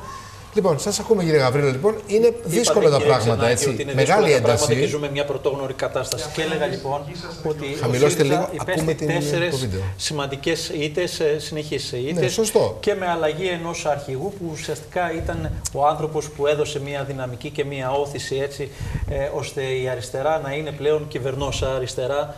α, Του τα Αλέξη τελευταία Τσίπρα, χρόνια. λέτε. Του Αλέξη Τσίπρα. Ε, Πολλοί κόσμος κατέβηκε με μεγάλες προσδοκίες και συμμετείχε στην εκλογική διαδικασία του νέου αρχηγού. Είναι μόλις τέσσερις μήνες πώς γίνεται ε, αυτό, αρχηγός. βέβαια; Τέσσερις Γι' αυτό ε, επιτρέψτε μου να πω την προσωπική μου γνώση. Θεωρώ ότι είναι και θεσμικά, ε, δεν είναι θεσμικά θεωρώ ορθό, Ναι. αλλά δεν είναι και πολιτικά επιβεβλημένο να προχωρήσουμε σε αυτές τις Στηρίζετε διαδικασίες. τον κύριο Κασελάκη. Ε, όχι, όχι, όχι, όχι, όχι. Νομίζω ότι δεν έχει ξανασυμβεί αυτό μέσα σε τέσσερις μήνες χωρίς να έχει κριθεί ένας αρχηγός σε, Στηρίζετε μια τον κύριο εκλογική- Κασελάκη, λοιπόν. Ναι. σε μια εκλογική διαδικασία να τίθεται θέμα ε, αρχηγού. Θα συμφωνήσω μαζί Λέω σας. λοιπόν ότι αυτό που ζούμε πλέον είναι μια πολιτική παραδοξότητα για- για το ΣΥΡΙΖΑ, δεν μπορούμε να το αμφισβητήσουμε, όταν ο κόσμος όλος είναι στους δρόμους. Αγρότες, η εκπαιδευτική κοινότητα, φοιτητές, πανεπιστημιακοί, για τα ιδιωτικά πανεπιστήμια. εσείς, ο ε, κόσμος της και εσείς εργασίας. ομφαλοσκοπείτε. 28 Φεβρουαρίου έχουμε την μεγάλη απεργία Το της κουκουέ ΑΔΕΔΗ. την κάνει αυτή. Δεν Το την κάνει κουκουέ το την κουκουέ, κάνει. Τώρα, την εντάξει, κάνουν τώρα- όλες οι δυνάμεις της μισθωτής εργασίας. Και έχουμε και μια κυβέρνηση που δεν μπορεί να αντιμετωπίσει το μεγάλο ζήτημα της ακρίβειας. Και την ίδια στιγμή έχουμε μια κυβέρνηση επίσης, γιατί πρέπει να το Ναι, αλλά συζητήσουμε εσείς αυτό, ασχολείστε με άλλα, που κύριε έχει να Γαβρίλη. κάνει, αυτό λέω, Ασχολείστε με άλλα. αυτό λέω, που έχει να κάνει Με με, την άλλα. ίδια τη δημοκρατία, ήταν το ψήφισμα κατά Ωραία, ωραία, πέτρες του σύμφωνα. Ευρωκοινοβουλίου. Μην αλλάζετε θέμα όμως. Που θίγει τη Παράκληση. χώρα. Θερμή. Και λέω, αντί να ασχολούμαστε με Μην αυτά, τα λέτε εγώ με σας τα αυτά. λέω. Ναι. Εσείς τα ασχολ- Γι' αυτό εσείς μιλάω κάνετε ότι συνέδριο εγώ και βλέπω- σκοτώνεστε. Εγώ βλέπω, εγώ βλέπω και λέω τη γνώμη μου ότι δεν ήταν ούτε θεσμικά ορθό, ούτε πολιτικά επιβεβλημένο να προχωρήσουμε Τσίπρας σε έκανε αυτή λάθος. την Ο κύριος Τσίπρας εσωστρέφεια. έκανε λάθος. Αυτή τη στιγμή ε, ο Τσίπρας ε, είπε τη γνώμη του, ο Κασελάκης είπε τη γνώμη κύριος του Τσίπρας και έκανε λάθος, προχωράμε, ίσως. και προχωράμε σε μία ε, διαδικασία εκλογής αρχηγού πάλι από τη βάση. Εγώ θέλω να πιστεύω ότι θα τελειώσουμε πολύ σύντομα με όλα αυτά τα ζητήματα τα διαδικαστικά που δεν αφορούν τον κόσμο. Δεν φαίνεται. πάντως. Δεν αφορούν τον κόσμο και πρέπει να προχωρήσουμε συλλογικά, ενωτικά και συντεταγμένα. Και θα σας πω γιατί. Πέστε το, για το έχει Πανθύρο ανάγκη, το έχει ανάγκη ο δημοκρατικός και προοδευτικός κόσμος. Βλέπετε, ο ΣΥΡΙΖΑ αντιμετωπίζει αυτά τα προβλήματα και έχουμε ένα Πασόκ που δεν μπορεί να ξεφύγει από το 11-12%, μία νέα αριστερά Σας έχει που περάσει. είναι στο 2, στο 3%, Σας έχει περάσει το Πασόκ. με ό,τι συμβαίνει. Σε όλες τις Τώρα το δημοσκοπήσεις είναι από ζήτημα πάνω είναι αν σας. θα είναι σε μια δημοσκόπηση μια μονάδα πάνω ή μια μονάδα κάτω. Εδώ ζούμε, το είπατε και εσείς, το πολιτικό σύστημα με ένα πολιτικό φορέα να έχει αυτά τα προβλήματα. Άρα, ο κόσμος, ο προοδευτικός περιμένει από εμά, περιμένει από εμάς συλλογικά συντεταγμένα να δώσουμε απαντήσεις στα προβλήματα που τον απασχολούν και να διαμορφώσουμε εμείς την εναλλακτική προοδευτική Για τελεία, πρόταση για τελεία. διακυβέρνησης. Λοιπόν. Δεν είναι εύκολο. Θέλει πολλή δουλειά και πρέπει να ξανακερδίσουμε την εμπιστοσύνη Εντάξει, του κόσμου. το κλίμα είναι πάρα Αλλά πολύ άσχημο. Πρέπει πάντως. αυτό να ολοκληρωθεί το διαδικαστικό ζήτημα, να έχουμε τον νέο αρχηγό, όποιος και αν είναι αυτός, Να και να πω μια προχωρήσουμε κουβέντα μπροστά. πριν ξεκινήσει ο Νίκος. Ναι, ναι, να πεις την κουβέντα. Για να ποιο πάμε λόγο στο τώρα, φίλο, ναι. ρεπορταζιακά πρώτα απ' όλα, επειδή πέρασα κάποιες ώρες και χθες και σήμερα. Για ήσουν όσους εκεί, μας ναι, βλέπουν. ναι, ναι. Όχι πολλές ώρες, αλλά πέρασα. Ε, νομίζω ότι είναι αισθητή η διαφορά της συμμετοχής του κόσμου. Παρότι χθες ήταν γεμάτο κόσμο, πράγματι, ε, αλλά ήταν μια ανοιχτή ομιλία όπως είχε γίνει και δύο χρόνια πριν του κυρίου Τσίπρα, για να μην κάνω και λάθος παραλληλισμού. τον ίδιο κόσμο και Δεν θέλω να αυτό ρίξω είναι καμία. λιγότερο. Και ξεκίνησε και Ε, πέμπτη το ούτως ή συνέδριο. άλλως, ούτε- δεν μπορεί όχι, ο και κόσμος τότε της πέμπτη επαρχία. ξεκίνησε, και Ναι, τότε, και δεν μπορεί, τότε θέλω να πω, ο κόσμος της επαρχίας να ξεκινήσει αφήστε από την το, πέμπτη και να αφήστε μείνει το, τέσσερις αφήστε το. Αυτό, αυτό έχει σημασία, λέω, για την εικόνα. Όπως επίσης και η εικόνα μιλούσε ότι το συνέδριο θέλει κασελάκι, να το πω λίγο λαϊκά, για όσους μας βλέπουν. Δεν έχει Ήταν- σημασία ήταν. γιατί και πώς. Και δεν είναι Το απλά. κέρδισε το συνέδριο, και δεν- αφού ήταν μέσα. Εγώ νομίζω ότι το έχει κερδίσει από πριν, αλλά δεν είναι εκεί το ζήτημα. Το ζήτημα για το ΣΥΡΙΖΑ, και θέλω να πω το ευρύτερο θέμα, και νομίζω βάζει ένα καλό προβληματισμό και ο βουλευτής εδώ που ακούμε τώρα. Ε, ο περισσότερος κόσμος, επειδή έχω μιλήσει με πάρα πολύ κόσμο και στην περιφέρεια και αλλού τηλεφωνικά, διαζώσει και εκεί, ε, οι περισσότεροι είναι σε δυσφορία, ανησυχία και προβληματισμό γιατί καταλαβαίνουν και τη θεσμική παραδοξότητα που είναι πρωτοφανής για ένα κόμμα της αξιωματικής αντιπολίτευσης στην ελληνική δημοκρατία και και στην Ευρώπη ε, να είναι τρεις μήνες πριν τις ευρωεκλογές, να μπαίνει νέο θέμα προεδρίας, προέδρου ή Ο άλλου κύριος Τσίπρας προέδρου. το έβαλε. Ο κύριος Τσίπρας είχε Αυτός κάθε το έβαλε. δικαίωμα να μιλήσει, να το πω εγώ δημοσιογραφικά. Αλλά αν το είπα και χθες όμως, το Μπήκαμε επαναλαμβάνω. σε μια εσωστρέφεια έκανε όμως μιας λάθος, εβδομάδας, την τελευταία έκανε εβδομάδα, το χωρίς, ε, timing- λόγο. Το timing όταν ξεκινάει ένα συνέδριο για έναν που είναι βουλευτής του ΣΥΡΙΖΑ Προοδευτική Συμμαχία, το λέω για όσους μας βλέπουν ακόμη, και τέος πρόεδρος και τέος πρωθυπουργός, θα περίμενα αυτό να το έχει κάνει σήμερα, αφού είχε μιλήσει ο πρόεδρος. Δεν κατάλαβα γιατί έπρεπε να μιλήσει πρώτα, δεν είναι αυτός πρόεδρος τώρα. Για να σε εννοηθούμε. Δικαιούται να μιλήσει, γιατί λέγανε όλοι θα μιλήσει ο Τσίπρα, θα έρθει δεν θα Εντάξει, έρθει. εντάξει, εντάξει. Δικαιούται να μιλήσει και αυτός και Κάποιοι να λένε ακουστεί, πως τράβηξε μια αλλά χαρά το χαλί είπε- κάτω από το κασελάκι. Τσακ, του το τράβηξε. Το είπαμε χαλί. και χθες, συγγνώμη μου, είναι, το δεν τράβηξε καθαίρεσε πάλι. κανένα, δεν μπορεί να καθαιρέσει. Τον μείωσε τον κύριο Κασελάκη γιατί του έκανε δημόσια κριτική. Ε, βέβαια. Σκληρή, όχι μόνο στον κύριο Κασελάκη. Εντάξει. Έκανε κριτική και στην υπόλοιπη Αυτό έμεινε ηγεσία. όμως. Ε, έμεινε λίγο ο ίδιος σε ένα βαθμό στο απειρόβλητο γιατί ξέρει ότι έχει ένα. Δεν έκανε ίχνος αυτοκριτικής για το Σωστό. Δεν είπε Σύνα για του τον του εαυτό κάνουν- του του τίποτα. κάνουν και κριτική διάφορα Απ' έξω. στελέχη που έχουν Του είπε ο φύγει. κύριος Κασελάκης Δημήτρη μου, μιλά, μου ζητάνε εμένα να κάνω αυτά που μου ζητάνε. Αυτοί οι οποίοι χα- το 32 το κάναν 18 και δεν είπανε ποτέ γιατί το κάναν 18. Πάντως, Στον μέσα- κύριο Τσίπρα απευθυνόταν μέσα αυτό. από Και έχει την- δίκιο ο κύριος Κασελάκη αυτό, άποψή μου είναι αυτή. μέσα από την πίεση και της παρέμβασης του κυρίου Τσίπρα αλλά και άλλων στελεχών, το οποίο δεν είναι γνωστό γιατί μαζευόντουσαν υπογραφές για εκλογή κεντρικής επιτροπής που δεν προβλεπόταν στο συνέδριο. Τώρα ο κύριος Κασελάκης έκανε και ένα βήμα πίσω που είπε πρέπει να πάμε σε εκλογές. Αλλά εδώ η τελευταία μου κριτική δημόσια ως δημοσιογράφος και πολιτικά το λέω είναι το πρωτοφανές ότι πηγαίναμε σε ένα συνέδριο που δεν είχε δημοκρατικές διαδικασίες για να συγκληθεί. Γιατί είχαν συμφωνήσει όλοι να μην γίνονται εκλογές. Μάλιστα. Ε, το ξαναείπα το στοιχείο να το ακούσουν όλοι. Θα μου πεις τι ενδιαφέρει, όπως λες και εσύ, Και είναι κάποιου διαδικαστικό πολίτε. μόνο αυτό, ναι, το ξέρω. Μην, Εσύ μην έχεις αδικείτε ευαισθησία. τόσο πολύ την Λοιπόν, κατάσταση που διαμορφώθηκε. Και εκλογές υπήρξαν. Όχι, όχι, όχι, συμφωνίες όπου, υπήρξαν, Όπου δεν συμφωνίες. υπήρξαν πολλοί. Συμφωνίες. Λοιπόν, μην πούμε στο διαδικαστικό, παρακαλώ πάρα πολύ. Επιλέχτηκαν Μην μου πεις αυτοί. αυτό. Και- Μην μου πεις αυτό. και Αυτό το πολιτικός συνέδριο. διάλογος Το έγινε. συνέδριο Και αυτή τη θα το συζήτηση, συνεχίσουμε. παρακαλώ. Έγινε ένας Δεν αφορά μήνας τον πολύ κόσμο σοβαρός αυτό. πολιτικός Δεν διάλογος. αφορά τον Σοβαρός. πολύ Οκ, κόσμο αυτό, οκ, θα επιμείνω. OK, OK. Ο Δημήτρης έχει ένα θεσμικό λόγο που το λέει αυτά. Δεν αφορά τον πολύ κόσμο. Και είναι, ε, φίλοι, εσείς το ξέρετε Ένα πολύ καλά κόσμο το που χώρο αυτό. αγωνιά Ναι, έχει- έχει, το- έχει. που αφορά πάρα πολύ. ε, Το ξέρετε το χώρο αυτό. Θα ήθελα την άποψή σας για αυτά που συμβαίνουν στο ΣΥΡΙΖΑ τώρα. Αν αισθάνεστε δικαιωμένοι που φύγατε και που συγκροτήσατε άλλο φορέα, τη Νέα Νιώθω Αριστερά. πόνο. Ορίστε. Νιώθω πόνο. Πόνο νιώθετε. Ναι. Διότι βλέπω. Δεν χαίρεστε ότι δηλαδή για αυτό που συμβαίνει. Δεν, στο δεν ΣΥΡΙΖΑ. χαίρομαι. Δεν μπορώ να χαρώ επειδή διαλύεται ένας χώρος πολιτικός ο οποίος δεν έρχεται τώρα να διαλύεται. Τώρα είναι μια κατάληξη προδιαγεγραμμένη πορείας η οποία ξεκίνησε ήδη κατά τη διάρκεια της δεύτερης, ε, μετά το 19, με πρωτοβουλία του Αλέξη Τσίπρα, μια πορεία που στο όνομα του ανοίγματος του κόμματος υπήρξε διάλυση του κόμματος. Υπήρξε ένας ασπόνδυλος πολυσυλλεκτισμός που δεν δημιούργησε δεσμούς με την κοινωνία ένα κόμμα του 32% αλλά δημιούργησε απομάκρυνση από την κοινωνία. Μαζέψατε κόσμο, λέτε, από διάφορους χώρους, αυτό εννοείται. Εννοώ ότι ήταν ένα κόμμα που έκανε μια αντιπολίτευση για να χαϊδεύει αυτιά. Δεν έκανε μια αντιπολίτευση αρχών. Δεν έκανε μια προγραμματική αντιπολίτευση.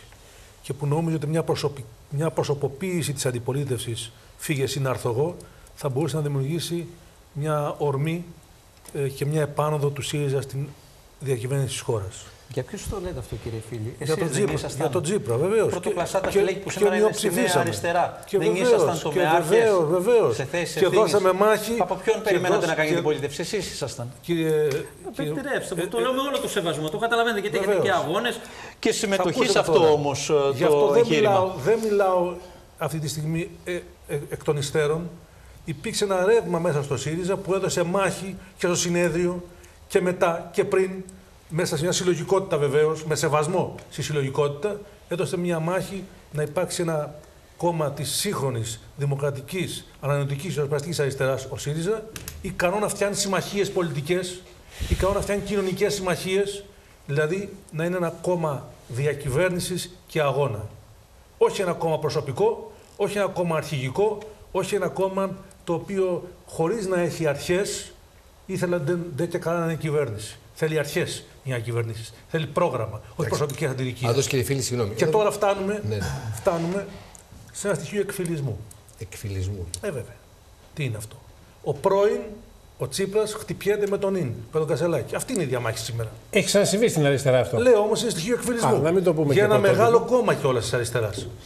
Και μάλιστα αυτός ο εκφυλισμός, που επαναλαμβάνω, είναι μια προδιαγεγραμμένη πορεία από το 19 και μετά, με ευθύνη προσωπική του Αλέξη Τσίπρα. Ο οποίος και στη διαδικασία της διαδοχής του έκανε ό,τι μπορούσε για να πυροδοτήσει αρνητικές καταστάσεις. Για παράδειγμα, εγκατέλειψε με την παρέτησή του το κόμμα το καλοκαίρι μετά την ήττα και δεν συμμετείχε μέχρι το συνέδριο σε μια ε, πορεία καταστατικής δημοκρατικής διαδοχής. Όχι, τον εγκατέλειψε και έφυγε.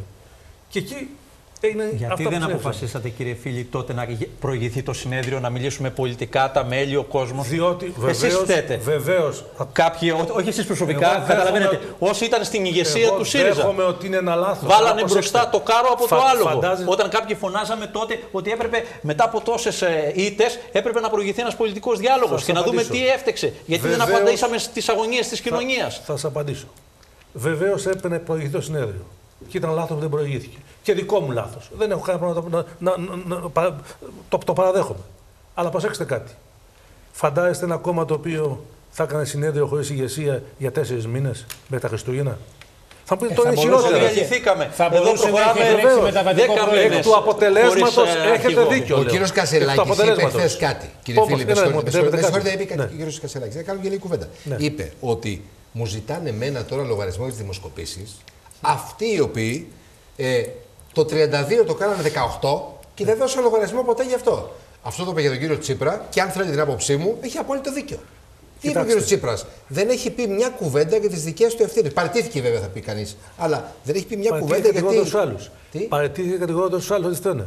Τα βαρύδια που τον υπονομεύαν, τους υπονομευτές. Ναι. Και αυτά τα οποία τα έλεγε μετά. Δεν είπε ποτέ ο κύριος Τσίπρας Ρε. τέτοια πράγματα, κύριε φίλε. Λέγανε επιτρέψτε μου, όλα τα δεν είπε παπαγαλάκια ποτέ του. Όλα. τέτοια Πράγματα. Όλα. Τώρα, στο διαδίκτυο δεν μπορούμε Μου να κάνουμε επιτρέπετε πολιτικό κάτι, όχι, διάλογο όχι. με το Τα, διαδίκτυο. Δεν τα είπε ο ίδιος. τα, αποδοκίμασε. Επιτρέψτε μου. Τα αποδοκίμασε. Όχι. Δημιούργησε μια εντύπωση επί μια τετραετία. Θέλατε να μπει ο ότι κύριος Τσίπρας κάποιοι- σε αυτό το Προσέξτε, γαϊτανάκι όχι, ακούστε του κάτι. διαδικτύου, Θα ακούσετε, αλίμονο. θα ακούσετε τώρα. Παρακαλώ. Ακούσατε τώρα. Επί τέσσερα χρόνια γράφανε ότι κάποιοι υπονομεύαν τον Τσίπρα και ότι ο Τσίπρας έχασε τελικά από τους υπονομευτές του. Αυτά όλα τα πήρε ο Κασελάκης, τα αξιοποίησε στον προεκλογικό αγώνα για να μπορέσει να εκμηδενήσει τους πολιτικούς του αντιπάλους. Αυτή είναι η Ο πραγματικότητα. Κασελάκης κέρδισε, κύριε φίλη, γιατί ο κόσμος ήθελε κάτι φρέσκο, κάτι καινούριο. Ήξερε όλους εμάς τους υπόλοιπους και ήθελε κάτι καινούριο να Κασελάκης- βάλει επάνω τις προσδοκίες ο- ο του, τις Κασελάκης ελπίδε του κέρδισε- για ένα μεγάλο χώρο που θα μπορεί να ξανακυβερνήσει. Γι' αυτό κέρδισε ο κύριος Ο Κασελάκης. Κασελάκης Τώρα, τώρα, κέρδισε- τώρα, τώρα, κύριε- τώρα, θα τώρα, πα- τώρα, εκεί κύριε πάμε, Ζήφα, τώρα μερικοί. πάμε. Τώρα για να πάμε στους υπόλοιπους. Τώρα είναι στους προφανέ ότι ομιλητές μας, ναι. δεν κέρδισε ο, Κασαλα- ο Κασελάκης, έχασε ο ΣΥΡΙΖΑ. Αυτό είναι σαφές. Δεν υπάρχει αυτή τη στιγμή ο ΣΥΡΙΖΑ που ξέραμε. Τώρα τι γίνεται. Τώρα λοιπόν είναι προφανές ότι είναι ένα θέμα εσωτερικών διαδικασιών του ΣΥΡΙΖΑ πώς θα βρει τη δική του κατεύθυνση και είναι ένα θέμα ευρύτερο της αριστεράς για την ανασύνθεσή της. Και η νέα αριστερά, την οποία συγκροτούμε αυτή τη στιγμή και έχουμε την επό- το επόμενο Σαββατοκύριακο την παναδική μας συνδιάσκεψη στο στάδιο Ειρήνης και Φιλίας, έχει ως στόχο την γενικότερη ανασύνθεση της αριστεράς και την ανασυγκρότηση του δημοκρατικού χώρου για να διεκδικήσουμε τη διακυβέρνηση της χώρας από τον Μητσοτάκη. Δεν μπορεί να αφήνουμε το Μητσοτάκη μόνο του ε, Το ίδιο λένε όλοι πάντως. Όχι Το όλοι. ίδιο λέει και Η κύριος- αριστερά δεν όχι μπορεί όλοι. να γίνει Όχι κυβερνόσα όλοι. αν δεν βρει ευρύτερα Η- ακροατήρια. Αν δεν βρει, κύριε φίλοι, Η αριστερά- ευρύτερα ένα ακροατήρια λεπτό. που θα Η ε, αριστερά έγινε σημαίνει από το κυβερνόσα, προοδευτικό κύριε κέντρο Γαβρίλο. μέχρι την Δεν- αριστερά είσαστε να νέος. απευθυνόμαστε Είσαστε ασφαλώς. νέος. Λοιπόν, Αλλά αν η δεν βρει αριστερά- ευρύτερα ακροατήρια η δεν μπορεί αριστερά να ξαναγίνει έγινε- κυβερνόσα. Έγινε κυβερνόσα Ήρθε η αριστερά. πάνω, πάνω Ένα λεπτό, στο επιτρέπετε. κύμα, στο κύμα, Γι' αυτό του μεγάλου μιλάμε για- προβλήματος των γι' αυτό μνημονίων μιλάμε που για απλή- δημιουργήθηκε στην ελληνική γι' αυτό κοινωνία μιλάμε και έτσι για ήρθε. απλή αναλογική. Δεν ήρθε σε μια Λοιπόν, κανονικότητα ένα η λεπτό. αριστερά. για να μπουν Γι' και άλλοι αυτό στην κουβέντα. μιλάμε για απλή αναλογική. Δηλαδή, συμμαχία πολιτικών και κοινωνικών δυνάμεων που θα δημο- διαμορφώσουν μια εναλλακτική, μια ανατρεπτική Παράκληση, πορεία στη χώρα. παράκληση, λοιπόν, για να Όχι συμμετέχουμε ένα στην κόμμα που κουβέντα. λέει ο Κασελάκης. Λοιπόν. Δεν μπορεί ο Κασελάκης μόνος του να ρίξει το Μητσοτάκι. Είναι Λοιπόν. σαφές. Απεδείχθη. Διαλύεται ο ίδιος. Πριν Πέφτει πάμε ο ίδιος. στους εκπροσώπους Χρειαζόμαστε των- μια των ευρύτερη άλλων δύο κομμάτων συμμαχία που είναι στην και το κουβέντα. σημαντικότερο με προγραμματικές συγκλήσεις. Εμάς Στο δεν μας συνέδριο αφορά η πάντως, κύριε κουβέντα, Φίλη, αλλά δεν να το έδειξε Σας να αποφευθεί. αφορά πέφτει ο αυτό το- ίδιος. Όχι, όχι, όχι, μισό, μισό. Πριν- Παρά Πριν πριν- αφορά αυτά την- που είπα, πριν- δεν έδειξε να πέφτει ο ίδιος. Πριν τοποθετηθούν οι δύο εκπρόσωποι των άλλων κομμάτων, που δεν τους αφορά άμεσα, αλλά έμεσα τους Ε, αφορά, αφορά και ειδικά αυτό, το ναι. Πασόκ, νομίζω το αφορά αυτή η κουβέντα. Είναι λίγο πιο όμορος χώρος με το ΣΥΡΙΖΑ, έτσι δεν έχετε καμία σχέση. Να ακούσουμε τον κύριο Κουσούλη όμως το κομμάτι αυτό, να μας Τώρα, πει ε, αυτό που βλέπει. Τι να πρωτοπεί κανείς για Ναι. το ΣΥΡΙΖΑ. Θα προσπαθήσω κωδικοποιημένα Ναι, ναι, να ναι. διατυπώσω μια θέση. Για να καταλάβουμε αυτά που βρίσκονται σε εξέλιξη, θα πρέπει κατά τη γνώμη μου να δεχθούμε ότι ο ΣΥΡΙΖΑ είναι ένα προϊόν της κρίσης. Γιατί μια πολιτική δύναμη διαμορφώνεται μέσα σε μια ευρύτερη συνθήκη. Αν διαγράψουμε αυτή την ευρύτερη συνθήκη, δεν μπορούμε να κατανοήσουμε το πώς συγκροτήθηκε. Ένα κόμμα μικρό έγινε, έφτασε στο 36% σε πάρα πολύ υψηλό ποσοστό. Μπορεί και κυβερνάει αλλού καλά, αλλού λιγότερο καλά, αλλά πάντως ε, όχι καταστροφικά τη χώρα για 4,5 χρόνια. Χάνει με ένα αξιοπρεπές ποσοστό, παραμένει κυβερνητικό κόμμα, δηλαδή το 19 με 31,5% και τι συμβαίνει στη συνέχεια, δεν έχει την πολιτική δυνατότητα να διαχειριστεί τον εαυτό του. Δηλαδή δεν μπορεί να συζητήσει τα του εαυτού του, τι έκανε καλό, τι δεν έκανε καλό, γιατί ιτήθηκε και με την έννοια ότι δεν ασκήθηκε όπως η αριστερά χρησιμοποιεί μια λέξη, εγώ δεν ανήκω στην αριστερά, αλλά η λέξη αυτή μου αρέσει πάρα πολύ, την αυτοκριτική, φτάνει στο 20 και 17%. Ε, συμβαίνουν λοιπόν τα γεγονότα του 24ωρου, γιατί χθες συνέβησαν Ναι, αυτά. ναι. Έχουμε λοιπόν τον πρώην πρόεδρο του ΣΥΡΙΖΑ, ο οποίος ε, περίπου ως επικαθοδηγητής, περίπου ως επιδιοκτήτης του συγκεκριμένου πολιτικού οργανισμού, παίρνει μια πρωτοβουλία και μάλιστα μια ώρα πριν από την έναρξη του συνεδρίου. Αυτό δεν είναι απλώς παράδοξο, είναι κατά τη γνώμη μου, επιτρέψτε μου να πω, πολιτικά ανήθικο και οπωσδήποτε ε, δεν συμβάλλει στο δημοκρατικό διάλογο. Ε, περί τίνος πρόκειται; Ο επιδιοκτήτης, ο παλαιός ιδιοκτήτης, ο παλαιός εκφραστής, ο οποίος πήρε το μικρό κόμμα και το έκανε μεγάλο, κάνει μια προσπάθεια ανάκτησης του κόμματος. Αυτό βλέπουμε σε εξέλιξη αυτές τις μέρες. και θα συγκρουστεί ο κύριος Κασελάκης με αυτό που αντιπροσωπεύει ο κύριος Τσίπρας και θα δούμε ποιος θα κερδίσει. Δηλαδή, διε, διεκπροσώπου ο κ. Τσίπρας. Ναι, αυτό εννοώ. Γιατί, μα ο κύριος Τσίπρας κίνησε τη διαδικασία αυτή και θα επιλεγεί κάποιος ή κάποια Κύριε υποψήφια Βασίλη φαίνεται που πως θα θα είναι σταθεί αυτή, ναι. απέναντι στον κύριο Κασελάκη. Θα προκύψει ένα αποτέλεσμα. Το ερώτημα είναι Πώς τι θα, πάνε μαζί συμβεί. μετά; Πώς θα πάνε μαζί. Πριν μετά; πάμε σε αυτό που λέτε, κύριε Ξενάκη, τι θα γίνει στις ευρωεκλογές; Οι ευρωεκλογές είναι μια πάρα πολύ κρίσιμη αναμέτρηση και από εκεί και πέρα θα δούμε ποια θα είναι η Κρίσιμη και πιο εξέλιξη. χαλαρή. Και κρίσιμη Ναι, και πιο δεν χαλαρή. συμμερίζομαι καθόλου την άποψη αυτή. Η συγκεκριμένη αναμέτρηση για την Ευρωβουλή δεν θα είναι καθόλου χαλαρή. Ε, Είναι μια πολύ συμβατική, μου επιτρέπετε να πω, προσέγγιση αυτή. Οι προηγούμενες μπορεί να ήταν, αυτή η συγκεκριμένη δεν είναι, γιατί για πολλούς λόγους. στείλει Για δύο μηνύ- θα λόγους στείλει μηνύματα, λέτε, κωδικοποιημένα, για το επιτρέψτε μου. Πρώτον, συμπληρώνονται πέντε χρόνια διακυβέρνησης. Σωστό. Και το σημαντικότερο κατά τη γνώμη μου είναι ότι δεν υπάρχει πλέον πολιτικός εχθρός. Δηλαδή υπάρχει μια Δεν υπάρχει συνθήκη... ΣΥΡΙΖΑ. Δεν υπάρχει ΣΥΡΙΖΑ, δεν υπάρχει πολιτικός εχθρός γενικά. Αντίπαλος δέος. Δεν υπάρχουν σημαίες δηλαδή του φόβου να ανεμίσει Θα πλέον έρθει ο η- ΣΥΡΙΖΑ. η Ναι, ναι, ναι. Νέα Δημοκρατία όπως έκανε το Μάιο, γιατί τη συνθήκη, τελειώνω με αυτή την πρόταση, Ναι, ναι, ναι. της δεκαετίας την καθόρισε ο ΣΥΡΙΖΑ. Την καθόρισε με την νίκη του και την καθορίζει με την ήττα του. Και θα δούμε πώς θα εξελιχθούν τα πράγματα. Λοιπόν, κύριε Φόρτομα, για να ακούσουμε εσάς ως τρίτο στην. ε, Καταρχήν παρακολουθούμε μια εσωτερική συζήτηση εδώ και πάρα πολύ καιρό. Ε, επιτρέψτε μου την κρίση. Δεν είστε στεναχωρημένος, φαντάζομαι. Καθόλου, αλλά ε, προφανώς στο γενικότερο πολιτικό κόσμο, προφανώς για μια κυβέρνηση, για να γίνεται καλύτερη, προφανώς πρέπει να υπάρχει και μια σοβαρή αντιπολίτευση. Δεν Και θα όχι θέλετε να έχετε, λαϊκιστική να έχετε και όχι τοξική μια αντιπολίτευση. αντιπολίτευση 30% πάντως. Ο κύριος Φίλης τοποθετήθηκε σωστά σε κάποια πράγματα, λέγοντας ότι από το 2019 και μετά υπήρχε μια κατηφόρα συνολικά, μιας και δεν είδαμε καμία κριτική γύρω από, την, γύρω από τα λάθη που έκανε. Ο κύριος Κασελάκης έκανε κάποιες κρίσεις. Όμως αποτελεί μια νομοτελειακή εξέλιξη, θα έλεγα συνολικά, μιας και υπάρχει μια απεμπόληση και ένα μη, μη προσδόκιμο εξουσίας από την αριστερά ευρύτερα. Ε, ο κύριος Τσίπρας επιχειρεί να χειραγωγήσει τις όποιες πολιτικές εξελίξεις, ο- τις οποίες ο ίδιος ε, καθόρισε με κάποια, πολ- ε, με κάποια πολιτική πατροκτονία του, του κύριου Αλαβάνου παλιότερα. Όμως το πολιτικό πρόσωπο του κύριου Τσίπρα, εγώ θα έλεγα πως έχει πεθάνει ως πολιτικό κεφάλαιο. Επιτρέψτε μου την άποψη. Ε, Το ζούμε μια- πεθάνει, το πεθάνει. το- Ναι, ε, πεθάνει έχει σε ολοκληρωθεί. εισαγωγικά. Έχει ολοκληρωθεί. Εξοδευτεί. Εντάξει, εντάξει, ναι, έχει Είναι, είναι, εξοδευτεί. η εντάξει. λέξη πεθάνει, μην τη χρησιμοποιήσουμε. Έχει ναι, ναι. φθαρεί. Έχει φθάρει, Έχει εντάξει. φθαρεί. Ναι, ναι, ναι. Εντάξει. Ξέρετε, ζούμε και στην εποχή που τα, οι λέξεις έχουν μια σημασία, να τις λέμε Δεν διαφωνώ. δημοσίως. Εντάξει.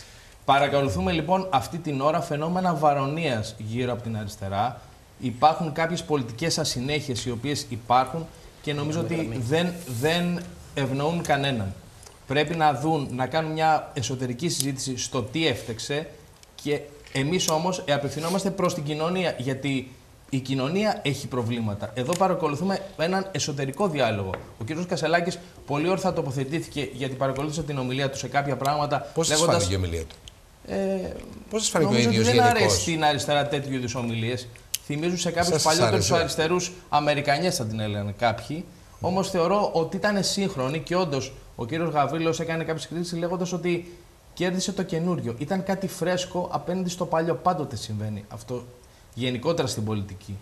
Άρα νομίζω ότι πρέπει να δουν το πού θέλουν να πάνε, το τι θέλουν να πετύχουν και να κάνουν έναν εσωτερικό διάλογο και να παρουσιάσουν ένα πρόγραμμα. Γιατί αυτή την ώρα, έχοντας ευρωεκλογές το Μάιο, στις 9 Μαΐου του 2024, δεν παρακολουθούμε κάτι παρά ακόμα μια φορά τοξικότητα γύρω από το ψήφισμα που είπε ε, πριν από λίγο ο κύριος Τοξικότερα το Γαβρίλος. ψήφισμα, Τοξικότητα. 330 ευρωβουλευτές. Έχει ενδιαφέρον ότι. Είστε ότι, ότι εκτεθειμένοι φέλγεστε από τον και για κύριο, την υπόθεση από τον των κύριο ΤΕΠΟΝ Κασελάκη. και για την Θα υπόθεση έρθει των και στη Νέα υποκλοπών Δημοκρατία το φαινόμενο Κασελάκη. και για την Θα υπόθεση- έρθει- πολιτική. Ναι. Βλέπω ότι Και καταρχήν φέλγεστε. τα δικά Σας σας αρέσει προβλήματα πολύ, ε. ευρύτερα στην Ωραία. αριστερά. Είστε το εκτεθειμένοι, πρόβλημα κύριε θα συνάδελφε, φανεί και οι όποιε για τα ασυνέχειε ζητήματα που κράτους υπάρχουν δικαίου. στην αριστερά ευρύτερα, στο πρόβλημα συνολικά για την αριστερά μετά τις ευρωεκλογές, με τα αποτελέσματα. Εδώ θα είμαστε να το συζητήσουμε. Θεωρώ και μέσα από τις, και μέσα από τις δημοσκοπήσεις, είπε ο κύριος Φίλης για την αριστερά, εγώ θα κάνω μια κρίση μέσα από τις δημοσκοπήσεις, τις οποίες βλέπω ότι ούτε και η νέα αριστερά φαίνεται ότι πείθει. Ναι, αλλά Άρα και προφανώς εσείς- και εκείνοι εσείς έχουν έχετε πρόβλημα. πρόβλημα, κύριε Φόρτομα, και εσείς Αλλά έχετε και το πρόβλημα. Πασόκ φαίνεται πως δεν, κεφαλ... πως δεν κεφαλοποιεί όλα αυτά τα οποία θα πάμε συμβαίνουν εκεί, ευρύτερα αμέσως. και στο ΣΥΡΙΖΑ. Άρα είναι ένα συνολικό πρόβλημα της αριστεράς που θα φανεί μέσα από τις ευρωεκλογές και θα κάνουμε την ίδια συζήτηση μετά τις ευρωεκλογές εδώ στο ίδιο Δηλαδή, τραπέζι. εσείς πιστεύετε, στο συγγνώμη, ίδιο τραπέζι. συγγνώμη, συγγνώμη. Και είπε ο κύριος Γαβρίλος, μισό λεπτό, είπε ότι πρέπει να δούμε συνολικά το τι θα κάνουμε. Και αφορά και το Πασόκ αυτό. Μη Έχουν- στέκεστε πάντως έχουν ανοιχτεί- αλαζονικά στα Δεν είναι τελευταία αλαζονία. εκλογικά Μισό- αποτελέσματα. δεν είναι αλαζονία. Υπάρχει ιερογμή πλέον. Έχετε την ίδια καραμέλα στο Υπάρχει ΣΥΡΙΖΑ και ιερογμή πρέπει να πλέον στη Νέα καταλάβετε ότι τα Δημοκρατία. προβλήματα είναι ο διαφορετικά. Κόσμος, ο κόσμος είναι στους δρόμους, κύριε συνάδελφε. Ο Το κόσμος είναι στους αντιλαμβανόμαστε δρόμους. εμείς αυτό. Γι' αυτό είπα και Εμείς εγώ το ότι δικιά μας δουλειά αντιλαμβανόμαστε. είναι Και αυτόν τον στέλνετε κόσμο τα να μάτια- τον εκφράσουμε. Και στέλνετε τα μάτια στα πανεπιστήμια, επειδή το, επειδή το αντιλαμβάνεστε. Κύριε και Φίλη, κοροϊδεύετε πρέπει τους να πάτε σε αγρότες μια άλλη εποχή γιατί και έχετε κοροϊδεύετε μείνει, τους αγρότες. έχετε μείνει 20 χρόνια πίσω λίγο. Το ξύλο που πέφτει Έχετε λοιπόν, μείνει 20 οι χρόνια. απειλές, Έχετε μείνει 20 χρόνια πίσω. τα σε αυτά. ψέματα, οι υποσχέσεις, Έχετε μείνει 20 η χρόνια προσπάθεια πίσω. συγκάλυψης του εγκλήματος ατέμπη. Αυτό λοιπόν είναι η πολιτική της Νέας Δημοκρατίας. Να καταλάβουμε. Εμείς αντιμετωπίζουμε τα προβλήματα της κοινωνίας και δεν μιλάμε με όρους τοξικότητας όπως μιλάτε εσείς ευρύτερα. στην Τοξικότητα είναι αριστερά. αυτό που Ναι. συνέβη. Αυτό πα- Η ασυλία στον κύριο Καραμαλή. Ποια ασυλία. Αυτή κύριε; που εδόθη στον Ποια κύριο ασυλία; Καραμαλή. Η ασυλία. Δημοκρατικά Τι ήρθε στη δημοκρατικά; Βουλή Και- και... μίλησε στην Επιτροπή. Γιατί, Ποια ασυλία; γιατί δεν είδατε την Ποια ασυλία του να πάει στο δικαστήριο; Για ποιο λόγο να το κάνουμε αυτό, Δεν κύριε είναι- Φίλη; δεν- δεν Για έχει ποια ευθύνη. κοινοβουλευτική Δεν έχει διαδικασία καμία να το ευθύνη. κάνουμε; Γιατί- Μα τι ευθύνη λέτε δεν τώρα; έχει. Γιατί δεν Μα τι καλεί- λέτε; Η γιατί ευθύνη δεν προκύπτει καλείτε μέσα τους από μια μάρτυρες που διαδικασία. πρέπει να Πώς θα κληθούν, προκύψει η να ανάψει ευθύνη. η- η- η Μέσα από το αλήθεια. πόρισμα, κύριε Γιατί Φίλη, δεν προκύπτει. Ποιο καλείτε- πόρισμα. Το όποιο πόρισμα βγάλει Μα η εσείς Εξεταστική Επιτροπή. κλείσατε- Εσείς ο ΣΥΡΙΖΑ δεν εσείς είχατε κάνει σπεύσατε- εξεταστικές επιτροπές. σπεύσατε να Εσείς κλείσετε ο ΣΥΡΙΖΑ την δεν είχατε κάνει Εξεταστική Επιτροπή εξεταστικέ για να μην έρθει το Ο πόρισμα του ΣΥΡΙΖΑ δεν εισαγγελέα. είχατε κάνει εξεταστικές επιτροπές. Το ξέρετε πολύ καλά. Θα ακούσετε- είχατε κάνει. θα ακούσετε τα είχατε συγκεκριμένα. κάνει, κύριε Φίλη. Ξέρετε ναι. πολύ καλά τη διαδικασία τώρα. Μην ακούσετε κοροϊδευόμαστε με το- μεταξύ μας. Δεν Σπεύσατε- κοροϊδεύουμε τον κόσμο. Σπεύσατε μάρτυρες, να εντάξει, κλείσετε, κάλεσαν τους να μάρτυρες, κλείσετε κύριε. την επιτροπή. όλοι μα- όχι όλοι Να μην- μαζί. Για να μην έρθει Κάνουμε μια το κουβέντα για πόρισμα την του αριστερά, σας εισαγγελέα. ενοχλεί και, Αυτό πάτε, κάνετε, και λοιπόν. πάλι πάτε στα τέμπη. Λοιπόν, δείτε το παράκληση- πρόβλημα που έχετε. Αντιμετωπίστε το και απευθυνθείτε προς την κοινωνία. Μιλήστε για το τι θέλετε να κάνετε. Αυτά θέλει να δει ο κόσμος. Λοιπόν, παράκληση, παράκληση μια Η τελεία. κοινωνική Ε, δικαιοσύνη Θα πάμε και στον η κύριο δικαιοσύνη είναι Οικονόμου. κλασικό θέμα. Παρακαλώ, κύριε Οικονόμου, να ακούσουμε και εσάς για το ΣΥΡΙΖΑ και να πάμε και σε άλλα θέματα μετά αμέσως, όσο προλάβουμε, εν πάση περιπτώσει, γιατί τελειώνει ο χρόνος σιγά σιγά. Εντάξει, Λοιπόν, η, αλή- η αλήθεια είναι ότι πιο πολύ ενδιαφέρεται ο κόσμος για τη συγκάλυψη ε, του εγκλήματος των τεμπών, πιο πολύ ενδιαφέρεται για την ακρίβεια, αλλά επειδή η ερώτηση είναι για τον. Για το Για το ΣΥΡΙΖΑ, κλείσουμε, εν για το πάση περιπτώσει, κλείσουμε, για να το το- κλείσουμε, να- να το κλείσουμε. κλείσουμε. Να το Να το κλείσουμε. κλείσουμε Και πρώτα. Πρώτα απ' όλα- τοποθέτηση πρώτα απ' όλα, αρτή να, να σου πω την αλήθεια, είναι εσωτερικό ζήτημα του ΣΥΡΙΖΑ. Ελπίζω, γιατί ξέρετε, δεν... συζητάμε τώρα για το ΣΥΡΙΖΑ πάντα ως τα τελευταία χρόνια ως κυβερνητικό κόμμα. Ο ΣΥΡΙΖΑ ακόμα και όταν ήταν ένα μικρό κόμμα, όταν ήταν συνασπισμός, ε, έφερνε τη δικιά του ξεχωριστή θέση, την πολιτική, στα πράγματα, ανεξαρτήτως εκλογικού ποσοστού. Αυτό το οποίο έχει χαθεί, η πολιτική υποχώρηση, εν πάση περιπτώσει, του εγχειρήματος του ΣΥΡΙΖΑ, έχει σχέση ότι έχει υποχωρήσει πάρα πολύ η δυνατότητά του να πανεβαίνει πολιτικά. Το λέω γιατί υπήρχαν μέσα στις εσωτερικές διαδικασίες και σε εσωτερική φαγωμάρα εν πάση περιπτώσει, που έγινε στο ΣΥΡΙΖΑ. Ένα από τα ζητήματα που, υ- που υπήρχαν ήταν ότι δεν έγινε πριν το συνέδριο, το αν- αναφέρθηκε ο κύριος Φίλης αυτό. Υπάρχει λοιπόν μια χρυσή ευκαιρία τώρα που τα έφερε έτσι η ζωή. Εν πάση περιπτώσει, οι πολιτικές εξελίξεις, να γίνει μια πολιτική συζήτηση στο συνέδριο και μετά θα γίνει μια εκλογή αρχηγού από τη βάση. Αλλά βλέπετε ότι τώρα έχουμε συνέδριο, τώρα έχει ο ΣΥΡΙΖΑ συνέδριο και πολιτική συζήτηση για το ποιες είναι οι προγραμματικές θέσεις. Αυτό που έλεγε ο κ. Γαβρίλο, πώς θα απευθυνθούν στην κοινωνία, τις προγραμματικές ε, διερευνήσεις που θα κάνουν και όλα αυτά. Τίποτα από όλα αυτά δεν γίνονται. Έγινε Τη διάρκεια μια του σημαντική συνεδρίου. Δουλειά, ένα Το μήνα λέω. τώρα συζητούσαμε με τα μέλη μας, συζητούσαμε θέλω με να την πω, κοινωνία. δεν θέλω και να- γι' αυτό είπα εγώ, είναι παράδοξο αυτή τη στιγμή, Βλέπ- ενώ έχει γίνει αυτή η δουλειά. βλέπετε- και βλέπ- κάνουμε και μια δουλειά και μέσα στη Βουλή, κύριε Οικονόμου, να ερχόμαστε να Δεν θέλω, ξαναθέτουμε δεν ζήτημα θέλω, ηγεσίας. κύριε, Γαβ- για να, Είναι να είναι λίγο σαφές. αυτοκυριασμός όμως. Δεν θέλω, Είναι λίγο δεν θέλω αυτοκυριασμός. ούτε, ούτε να υποβαθμίσω, Αυτή είναι απέναντι. ούτε, ούτε θέλω να υποβαθμίσω τη δουλειά που έχετε κάνει. Καλά την έχετε κάνει, αλλά, αλλά την υποβαθμίζετε όχι εσείς, όχι προσωπικά, προς Θεού, αλλά οι διαδικασίες του Σαββατοκύριακου. Γιατί ξέρετε, όλη αυτή η προγραμματική προσυνδερική δουλειά που γίνεται αποτυπώνεται σε ένα διήμερο τρίμερο συνεδρίου. Και το διήμερο τρίμερο συνεδρίου υποβαθμίζει τη δουλειά που λέτε ότι έχετε κάνει και καλά να την έχετε κάνει. Αλλά πάμε λίγο παραπάνω, γιατί άκουσα πριν για την παρέμβαση του πρώην Πρωθυπουργού. Ξέρετε, ο πρώην Πρωθυπουργό. Και ο Τσίπρας. Δε, βέβαια, τον κύριο Τσίπρα. Ε, ότι πάση περιπτώσει με μια αρνητική χρειά. Η πρα- πραγματικότητα όμως είναι ότι ο, όπως και αν μπορεί κάποιος ηθικά να κρίνει την παρέμβαση του, του κυρίου Τσίπρα, άλλαξε το συνέδριο. Δηλαδή, μια δήλωση του Αλέξη Τσίπρα ήταν ικανή να αλλάξει όλους τους συσχετισμούς, όλες τις διαδικασίες και όλη την ουσία του συνεδρίου του ΣΥΡΙΖΑ.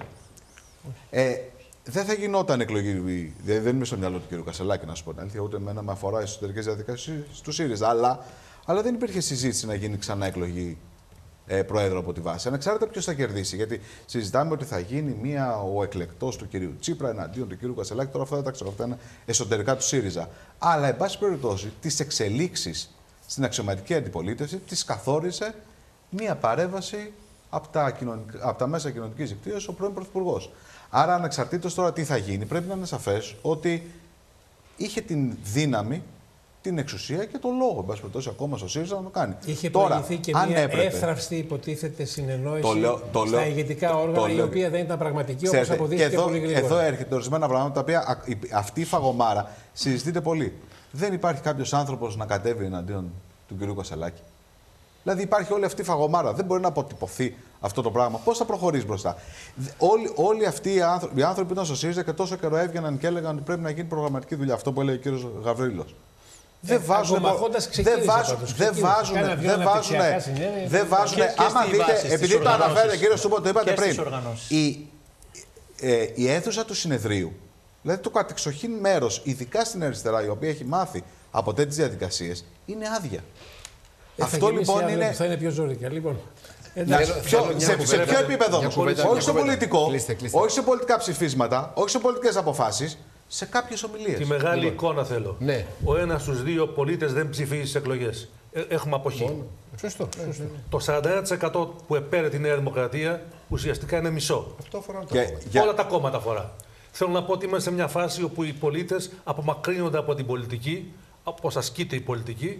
Οι πολίτες συνεπώς θέλουν να, να υπάρξει ένα, το κενό εκ, της εκπροσώπησης να καλυφθεί. Ναι. και, Πώς και- θα καλυφθεί αυτό; Εδώ έχουμε την ακροδεξιά και στην Ελλάδα και στην Ευρώπη, η οποία προσπαθεί να ψαρέψει στα θολά νερά. Αντίπαλος στην ακροδεξιά, αντίπαλος σε αυτούς οι οποίοι παίρνουν την ατζέντα της ακροδεξιάς και παίζουν δυστυχώς υπέρ της, ακροδεξ... υπέρ της ακροδεξιάς, και αυτή είναι η συντηρητική και στην Ευρώπη και στην Ελλάδα, είναι μια αριστερή προοδευτική δύναμη. Δυστυχώς δεν μπορεί να υπάρξει σήμερα. Όχι κατακαιρματισμένη Όχι όμως, κύριε κατακαιρματισμένη. φίλη, Και- διότι Πα- η πραγματικότητα και- λέει ότι και- αυτή και τη στιγμή βλέπετε- ο περισσότερος κόσμος που μιλάω, εγώ νομίζω και εσείς μιλάτε γιατί έχετε αρκετή εμπειρία επί του πεδίου, που δεν έχουν πολλά στελέχη της αριστεράς τώρα επί του πεδίου και είναι από τα προβλήματα της αριστεράς.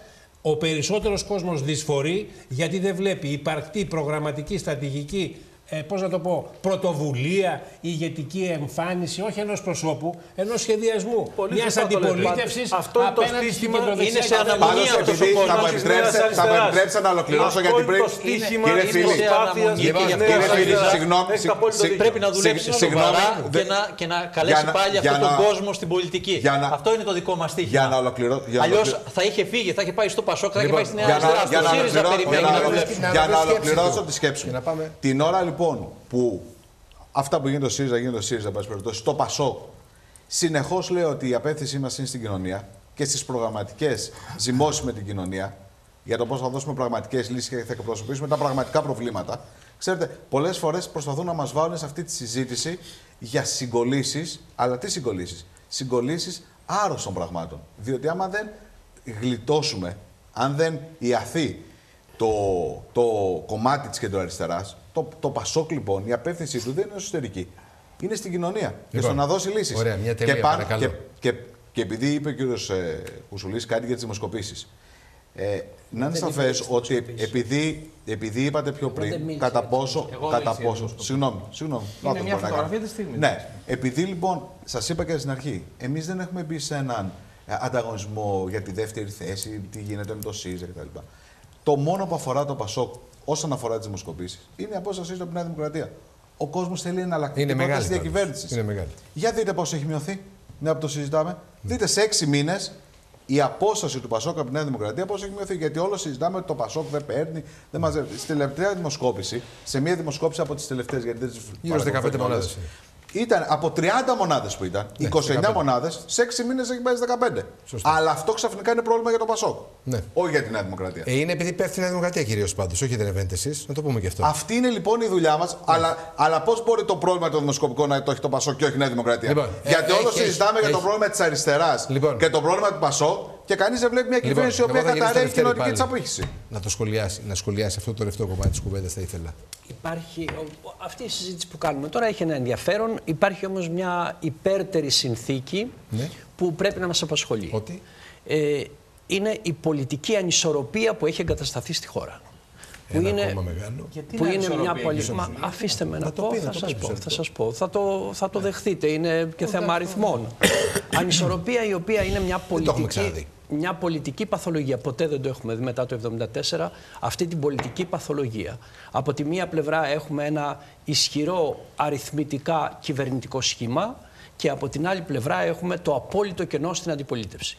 Και όταν λέω το απόλυτο κενό στην αντιπολίτευση, εννοώ την πολιτική αδυναμία που έχει εγκατασταθεί στην αντιπολίτευση. Αυτό είναι μια ανισορροπία. Δεν είναι απλώς μια ανισορροπία, είναι μια παθολογία. Μέσα σε αυτή την παθολογία λοιπόν εμφανίζεται ένα κυβερνητικό σχήμα το οποίο είναι αποκλειστικά διαχειριστικό, προσανατολισμένο στον εαυτό του, ένα σχήμα που αγαπάει πάρα πολύ τον εαυτό του, όσες ε, μεταβολές επιχειρεί και ονομάζει μεταρρυθμιστικές είναι στο βάθος και στην ουσία προσχηματικές. Γι' αυτό και δεν ασχολείται με πραγματικές μεταρρυθμίσεις. Παράδειγμα, μία λέξη που είχε στο πρόγραμμά, της, στο, κυ- το, στο πρόγραμμά του το κυβερνών κόμμα ήταν η αξιολόγηση. Η λέξη αυτή είχε εγκαταλειφθεί κατά τη διάρκεια της διακυβέρνησης. Δεν υπάρχει κανένα ενδιαφέρον για τα ουσιώδη. Παράδειγμα, ενδιαφέρον για το δημόσιο σχολείο. Κανένα απολύτως ενδιαφέρον για το δημόσιο σχολείο, ούτε καν συζήτηση. Δεν υπάρχει κανένα ενδιαφέρον για το πώς θα αντιμετωπιστεί η βία που έχει διαποτίσει το κοινωνικό σώμα. Κάθε μέρα ακούμε στις ειδήσεις συμμορίες ανηλίκων σε μεγάλο αριθμό και δεν ακούμε για όλες. Υπάρχει ένα ζήτημα δημόσιας υγείας στη χώρα, η υγεία υποχωρεί. Υπάρχει ένα ζήτημα ασφάλειας στη χώρα. Υπάρχει ένα ζήτημα καθημερινό τροχαίων στη χώρα, γιατί η πολιτική είναι μια πάρα πολύ ρεαλιστική υπόθεση. Συνδέεται με την καθημερινή ζωή των ανθρώπων. Και βέβαια υπάρχει ένα μείζον υπαρξιακό ζήτημα, το δημογραφικό, για το οποίο Ούτε μία λέξη ουσιαστικά δεν λέει η κυβέρνηση. Ποια είναι λοιπόν η παθολογία; Η παθολογία είναι ότι έχουμε μια κυβέρνηση αυτάρεσκη, η οποία ε, βγήκε μέσα στην πολιτική συνθήκη λόγω της σίτας του ΣΥΡΙΖΑ και επειδή κατακαιρματίστηκε η αντιπολίτευση, ε, βρισκόμαστε σήμερα σε μια πολιτική οπισθοδρόμηση συνολικά στη χώρα και πρέπει να το ξαναδούμε. Στα όσα είπε ο κύριος Κουσούλης και συμφωνώ σε πολλά από όσα είπε, Θα μιλήσει, θα μιλήσει. θα θέλω μιλήσει. να πω ότι λέει τη μισή αλήθεια. Η Νέα Δημοκρατία έχει πολιτική αντιμετώπιση αυτών των προβλημάτων, που είναι πολιτική όμως εις βάρος της κοινωνικής πλειοψηφίας. Στο δημόσιο σχολείο, στο δημόσιο πανεπιστήμιο, οι επιλογές που κάνει είναι επιλογές ιδιωτικοποίησης. Και πώς επιβραβεύεται. Θα, ακούσετε, έτσι, θα απαντήσω, δημοσκοπικά ένα η Νέα λεπτό. Δημοκρατία. Τα νοσοκομεία καταραίουν τα δημόσια. Αν όλα αυτά ακόμα, είναι Όταν λαϊκά. λέω, ακόμα- συγγνώμη, επειδή μου είπες για μισή αλήθεια, όταν λέω αδιαφορία, διαφορεί με κριτήριο το κοινωνικό Α, ενδιαφέρον. Συμφωνώ έτσι. απολύτως τότε. Αλλά ακολουθεί όμως Ήταν πολιτικέ. σαφές αυτό που Έχετε είπα. δίκιο, κύριε Κουσούλη. Ναι, είπε Οι αυτό ο πολιτικές κύριος που ακολουθεί η Νέα Δημοκρατία. Διότι ασκεί Είναι πολιτική. στοχευμένες και Είναι είναι στοχευμένες απολύτως. εις βάρος Είναι του κοινωνικού, επιλογές της. του κοινωνικού συνόλου. είπα, οι Και μεταβολές υπέρ είναι προσχηματικές. Ιδιωτικών, ιδιωτικών συμφερόντων. Και πώ το Απολύτως. κοινωνικό σύνολο Θα επιβραβεύει ακούσετε, δημοσκοπικά θα τη Νέα ακούσετε τώρα, θα Δημοκρατία, ακούσετε. κύριε Ένα- Φίλη. Ένα-ένα. Θα τα πούμε Δώστε όλα. μια απάντηση. Μάλιστα. Το κοινωνικό σύνολο δεν επιβραβεύει τη Νέα Δημοκρατία. Τι κάνει; Έχει εμπλακεί σε μια πραγματικότητα μειωμένων προσδοκιών. Βγήκε από μια μεγάλη κρίση οικονομική, Δεν βλέπει κοινωνική, κάτι κάπου αλλού, αυτό λέτε. κοινωνική. Βεβαίως δεν υπάρχει κάτι διαμορφωμένο είναι από κάτι την άλλη άλλο. πλευρά. Υπάρχει μια παρέτηση της Βεβαίως κοινωνίας. υπάρχει. Είναι γεγονός. Γιατί δεν βλέπει κάτι άλλο, Η κοινωνία αυτή τη Είναι στιγμή. μια Γιατί παρέτηση της ερχόταν ο κοινωνίας. ΣΥΡΙΖΑ το 2015, τι συνέβαινε; Όλα καθορίζονται από το ΣΥΡΙΖΑ ή την αποτυχία του; Συγγνώμη τώρα. ο Υπάρχει ΣΥΡΙΖΑ- μια πρόταση την οποία η, Ο η ΣΥΡΙΖΑ το υπερψηφίζει 2015 συνολικά η πλειοψηφία. εξέφρασε, η πλειοψηφία εξέφρασε λοιπόν ένα θυμό και μια καταθέτοντας οργή του προγράμματα ελληνικού λαού. ψηφίζει. Αυτό είναι σαφές. Υπερψηφίζει λοιπόν. Τώρα, Ψήφισε λοιπόν, το πρόγραμμα της Νέας Δημοκρατίας. ψήφισε Δεν τώρα το- καθορίζεται λοιπόν από το αν πετυχαίνει ή αποτυχαίνει ο ΣΥΡΙΖΑ. Ψήφισε. Γιατί ο- Αυτό λέω. Γιατί ο κύριος Κουσούλης αυτό μας είπε. Αυτό μας είπε πριν από λίγο. Ο ελληνικός Αν λαό. κατάλαβα Να καλά. προσθέσω, Συγγνώμη. να προσθέσω, να προσθέσω κάτι. Μου επιτρέπετε ένα λεπτό. Εάν δεν υπήρχε το λεγόμενο αντισύριζα ρεύμα, στο οποίο συμμετείχα πάρα πολύ, έτσι, ίσως έχω γράψει πιο πολλά κείμενα από όσα έπρεπε για το ΣΥΡΙΖΑ, το οποίο ήταν ακαθοδήγητο και ελεύθερο, σας λέω ότι το κόμμα σας στην εποχή εκείνη, σημερινά στελέχη και υπουργοί, λυπάμαι πάρα πολύ που το λέω, όταν είμαστε σε σύγκρουση ακόμη και με τον Νίκο το φίλο, το φίλο μου, ο- το θυμάσαι, την έντονη ιδεολογική και πολιτική σύγκρουση, πίνανε ασφαλείς καφέ στην πλατεία Κολονακίου και μας λέγανε ότι είμαστε ακραίοι. Αν δεν υπήρχε λοιπόν αυτό το αντισύριζα ρεύμα, η Νέα Δημοκρατία το 19 θα είχε μείνει στο 35%.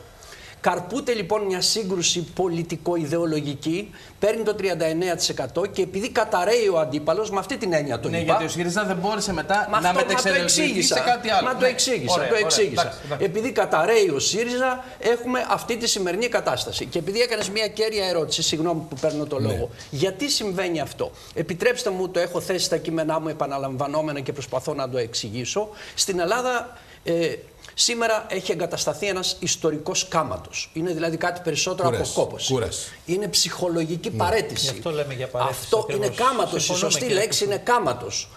Έχει λοιπόν εγκατασταθεί ένας κάματος. Ήταν 10 χρόνια μνημόνια, Απελπισία δύο χρόνια είναι αυτό, έτσι. πανδημία. Να κάνεις μια Πρέπει να τα δούμε συζήτηση. όλα να κάνεις- αυτά. Μέσα σε αυτό υπάρχει Στοχοποίηση μιας μιας μεγάλης απελπισία. μερίδας Απελπισία, του ελληνικού Περίπου, λαού. περίπου ως- όπως ο ιστορικός Απελπισία. κάματος περιγράφεται από τον Καβάφη στο ποίημα «Περιμένοντας τους βαρβάρους». Και τα βασικά η χώρα, ένστικτα λοιπόν, η και χώρα, συναισθήματα λοιπόν, είναι φόβος και ανασφάλεια. Έτσι Ναι, δεν είναι σωστά κύριε τα Παπαδόπουλου; λέτε. Και Η εκεί χώρα, επένδυσε λοιπόν, ο κύριος Μητσοτάκης. Η χώρα πρέπει λοιπόν να πρέπει να αλλάξουμε, να το ξαναδεί το ανατρέψουμε. πολιτικό της πρόβλημα συνολικά, αν θέλει να προχωρήσει. Να δει τη θέση της στον κόσμο, ποια οι δυνατότητές της, τι μπορεί να κάνει, να προχωρήσει με μια σύνεση και με μια πολιτική ευφυΐα, η οποία σήμερα δεν υπάρχει, για το ότι σημερινό κυβερνητικό σχήμα είναι ένα εξουσιαστικό σχήμα.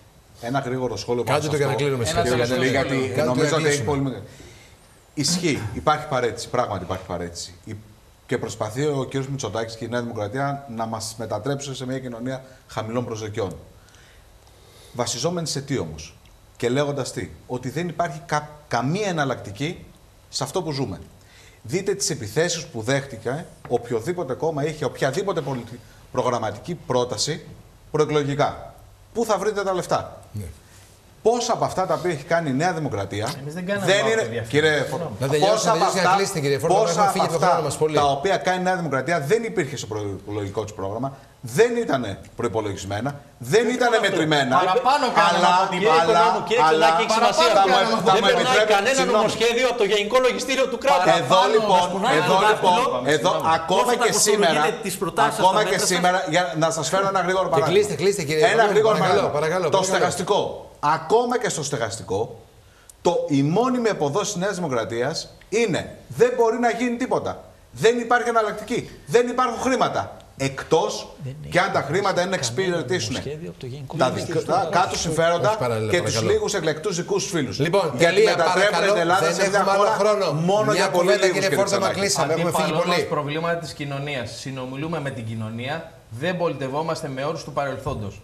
Εμείς Μάλιστα, ονει- λοιπόν. ονειρευόμαστε τη χώρα μετά από 10 Λοιπόν, χρόνια. Και αυτό ευχαριστούμε πρέπει να πάρα κάνουμε. πολύ όλους σα που ήρθαν απόψε το βράδυ μαζί μας στη ζωηρή αυτή η κουβέντα που ελπίζουμε να την άκουσε ο κόσμος Και ασκείται μερικές ελπίζω φορές. τώρα στο Ταγέο που θα έχουμε τη συνδιάσκεψη την Πανελλαδική της Νέας Αριστερά. άλλη εβδομάδα. Την άλλη Να εβδομάδα. είμαστε εδώ παρέα, να να τα σας πούμε. ξαναπούμε. Με χαρά, διότι σας πιστεύω περιμένουμε. ότι θα υπάρξει ένα μήνυμα. Θα σας περιμένουμε με μέσα σε χαρά αυτό το από τώρα. σκοτάδι Το που λέμε, έχουμε το γύρω λέμε μας. από τώρα. Λοιπόν, με τον Δημήτρη Στου μένουμε εδώ για τα τελικά στη τηλεφωνήματα. Ευχαριστούμε πάρα πολύ τους υπολείπου. Να είστε καλά. Καλό βράδυ. Ευχαριστούμε Γυρίζουμε πολύ. σε 2-3 λεπτά από τώρα.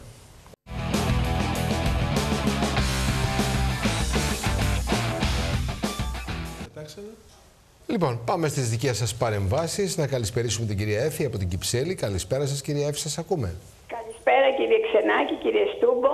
Θα είμαι σύντομη, δεν μου αρέσουν και τα πολλά. Πέστε μας. Θα είμαι πολύ εκνευρισμένη κύριε Ξενάκη με όλα αυτά που συνέβησαν χθες στο συνέδριο. Ναι. Φυσικά για όλα αυτά ε, ε, υπέτειος είναι ο κύριος Τσίπρας που μας τον έφερε από το πουθενά. Τον έφερε εδώ πέρα και έχει γίνει άνω κάτω το κόμμα τους. Δεν με ενδιαφέρει δηλαδή, αλλά δεν θέλουν να γίνονται αυτά τα πράγματα στη χώρα μας. Έβριζε, εφώναζε, στο τέλος μας είπε, κουνούσε το χέρι, ή πολύ εκνευρισμένος και στο τέλος είπε είναι ένα σάπιο και διεφθαρμένο πολιτικό. Έχω να αντιμετωπίσω έτσι ακριβώς ένα σάπιο και διεφθαρ- διεφθαρμένο πολιτικό σύστημα. Ναι. Ε, ε, αυτά δεν επιτρέπεται να τα λέει ένας καινούριος αρχηγός. Ήρθε σε μια χώρα να κάνει τον αρχηγό και θέλει να γίνει αρχηγός συνέχεια και να κερδίσει τον κύριο Μητσοτάκη και το οποίο τονίζει. Ναι. Δυστυχώς δεν θα πάνε έτσι τα πράγματα. Μακάρι να φύγει σύντομα, να πάει στο Μαϊάμι, να μείνουμε ήσυχοι. Ευχαριστώ πάρα πολύ για τη φιλοξενία. Να είστε καλά, κυρία Έφη. Καλό σας βράδυ και καλό Σαββατοκύριακο. Και από την Κυψέλη να πάμε στο Κερατσίνι, στον κύριο Διονύση. Καλησπέρα σας, κύριε Διονύση, σας ακούμε. Καλησπέρα κύριε Ξενάκη. Ορίστε. Λέγομαι Διονύσιος Μπισκίνης Μάλιστα. και θέλω να κάνω μια θερμή παράκληση στο κύριο διοικητή του ΕΦΚΑ. Μάλιστα. Έχω 42 χρόνια δώσει εισφορές Ναι. και παίρνω μόνο 15 χρόνια ότι έχω δουλέψει. Εν τω μεταξύ ήμουνα με διαδοχική ασφάλιση και, ήμουν, και είχα πάρει και από το Υπουργείο Εργασίας μία βεβαίωση ότι εγώ εξαιρούμαι από το άρθρο 63 του νόμου 2676 το 99 για συνταξιούχους εργαζόμενους.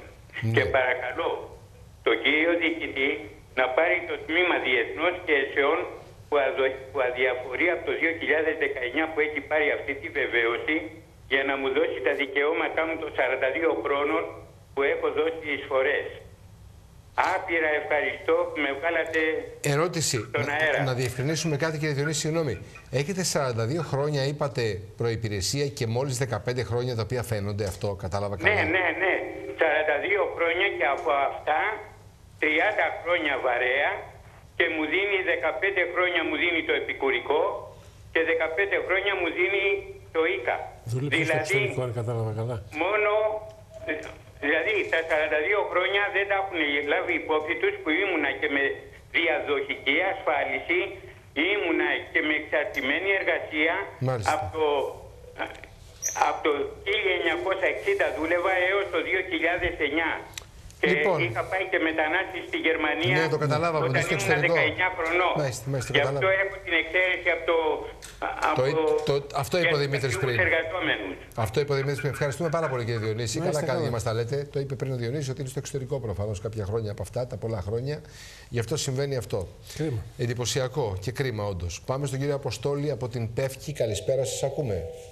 Καλησπέρα κύριε Ξενάκη και στην παρέα σας. Να είστε καλά. Ε, θα ήθελα να σας πω δύο πράγματα. Βεβαίως. Πρώτο για τις Χαμηλώστε λίγο, χαμηλώστε αν μπορείτε την τηλεόραση λίγο, γιατί κάνει αυτό. Είναι το- όλοι κλειστοί. Ορίστε. Πέστε μας. Με ακούτε τώρα; Πολύ καλά, πέστε μας. Ε, δεν σας ακούω εγώ. Δεν έχει σημασία. Πέστε μας, ακούμε. Ναι. Ε, έχω διαδοχική σύνταξη ΝΑΤ ΙΚΑ. Ναι. Το 2004 που ανέλαβε ο κύριος Καραμαλής έπαιρνα 630 ευρώ συν τα δώρα μου. Ναι. Το 2024 παίρνω 360 ευρώ συν την αύξηση που πήρα τώρα το 3%. 40 λεπτά την ημέρα. Ναι. Μπορείτε να το διανοηθείτε αυτό το πράγμα. Είμαι 80 ετών. Με ξεφτιλίζουν αυτή τη στιγμή τη, την ηλικία μου. Με καταντήσανε να γίνω ζητιάνος, να πηγαίνω στις εκκλησίες, να πηγαίνω στους δήμους, να πηγαίνω, δεν ξέρω που να πηγαίνω για να μπορέσω να επιβιώσω. Δεύτερον, το Υπουργείο Υγείας είπε σε αυτούς που κόψανε το ΕΚΑΣ ότι θα παίρνουν τα φάρμακα δωρεάν. Από παλιά που το είπε αυτό και χοροπήδαγε ο κύριος Σαφιάς στην τηλεόραση που το είπε αυτό το πράγμα μαζί με τον Υπουργό Υγείας λες και μας κάνανε δώρο πληρώναμε τα φάρμακα τα πρότυπα τα πληρώναμε. Δεν πληρώναμε τα γενώσιμα. Τώρα πληρώνουμε και τα γενώσιμα. Έδινα για τα φάρμακά μου γιατί έχω κάνει bypass έχω χαπ έχω διάφορες παθήσεις. Θέλω φάρμακα περίπου 250 ευρώ συνολικά, ε, συνολικά ε, τα φάρμακα τα οποία έπρεπε να πληρώνω μόνο ορισμένα από τα πρότυπα, όχι όλα. Τα Μάλιστα. γενώσιμα δεν έπρεπε να πληρώνω τίποτα. Δηλαδή πλήρωνα Μάλιστα, 8,5 μάλιστα, μάλιστα, ευρώ, μάλιστα, 8 μάλιστα. με 8,5 ευρώ και πλήρωσα 28 ευρώ για να τα πάρω. Τώρα, τώρα λέτε έτσι, τώρα, τώρα. Ναι, ναι, ναι. Μάλιστα. Αυτό Κύριε είναι- Αποστόλη, ευχαριστούμε πάρα πολύ. Σας ακούσαμε με προσοχή. Είπατε και τα στοιχεία. Δεν χρειάζεται να λέτε και τα υπόλοιπα και για συναδέλφους, γιατί και αυτή η φρασιολογία δεν χρειαζόταν. Να μείνουμε στην ουσία των πραγμάτων. Καλά κάνετε και μας τα λέτε. Δημοσίως ακουστήκανε. Ευχαριστούμε πάρα πολύ. Θα, θα έχουμε τον κύριο Γεωργιάδη το επόμενο διάστημα εδώ μαζί μας να μιλήσουμε για τα θέματα αυτά που αφορούν και τα φάρμακα και όλα τα υπόλοιπα θέματα του Υπουργείου του. Λοιπόν, πάμε στην κυρία Άννα από το Βύρονα. Καλησπέρα σας. Καλησπέρα σας. Σας ακούμε. Τι κάνετε, ε, περαστικά σας. Ευχαριστώ πολύ, κυρία Άννα. Να είστε καλά. Πέστε μας. Ε, τι να πω τώρα, από όπου και να το πιάσεις λερώνεσαι. Πιάστε το από Το, κάτω. θε- το, το θέμα Μητσοτάκη. Ε, τι, τι να πω, ό- ό,τι έχει κάνει μέχρι τώρα, όλα τα νομοσχέδια που έχει φέρει, είναι κατά του λαού. Μας έχει πατήσει κάτω. Μας έχει πιει το αίμα σαν τον κόμι Δράκουλα. Τι- μα- Μας έχει εξοντώσει.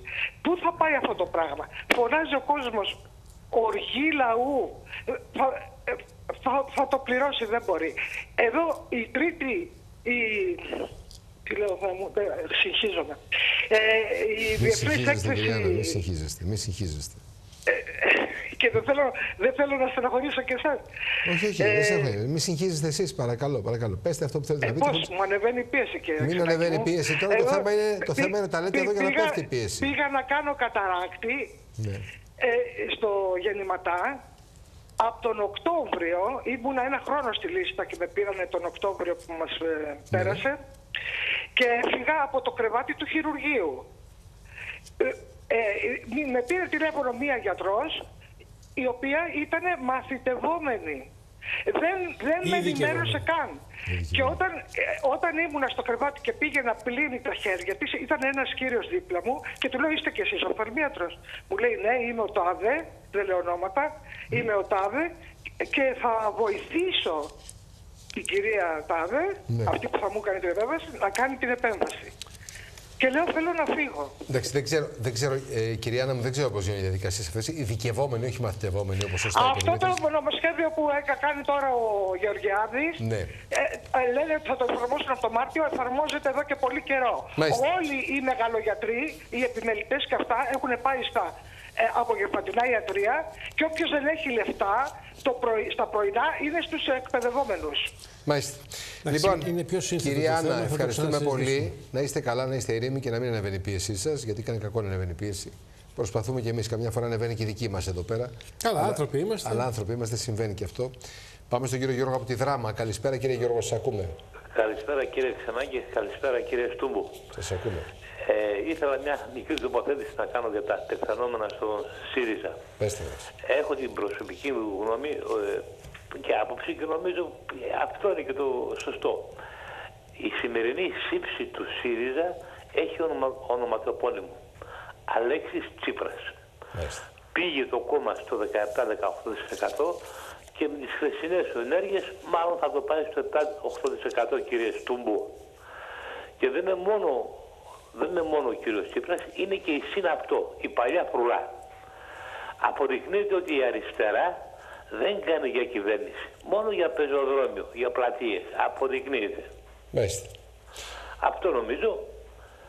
Ευχαριστούμε. Λυπάμαι πά- πάρα πολύ που ψήφισα δύο φορές ΣΥΡΙΖΑ και ε, μην μας πει κανείς κύριε Στούμπο ότι πήρε το ΣΥΡΙΖΑ και τον πήγε στο 35%. Στο 35% το ΣΥΡΙΖΑ κύριε Στούμπο τον πήγαν οι ψηφοφόροι του Πασόκ. Δεν είδα Κανείς ποτέ εγώ άλλος. ότι τον πήρε. Βοήθησε ο Πάλι κύριος τον- Τσίπρας πάντως, άμα δεν Αλλά είναι. έπαιξε ρόλο. Ε, κακά τα ψέματα, Τι κύριε Γιώργο. έπαιξε ρόλο, είναι φανερό τα πράγματα. Ένα και ένα κάνουν δύο. Αν δεν πήγαιναν Καλώς, σας ακούμε. αυτοί οι άνθρωποι, οι ψηφοφόροι, δεν λέω για την Ε, ηγεσία. κάτι δεν άκουσα. πήγαινε.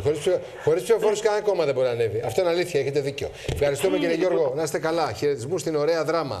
Πάμε από τη δράμα στη Γερμανία, στην κυρία Γεωργία. Καλησπέρα σας. Ναι. Ναι, η πατρίδα μου, η δράμα. Α, είστε στη, καλησπέρα. στη Γερμανία, ναι, αλλά είστε από τη, καλησπέρα. από τη δράμα, μάλιστα.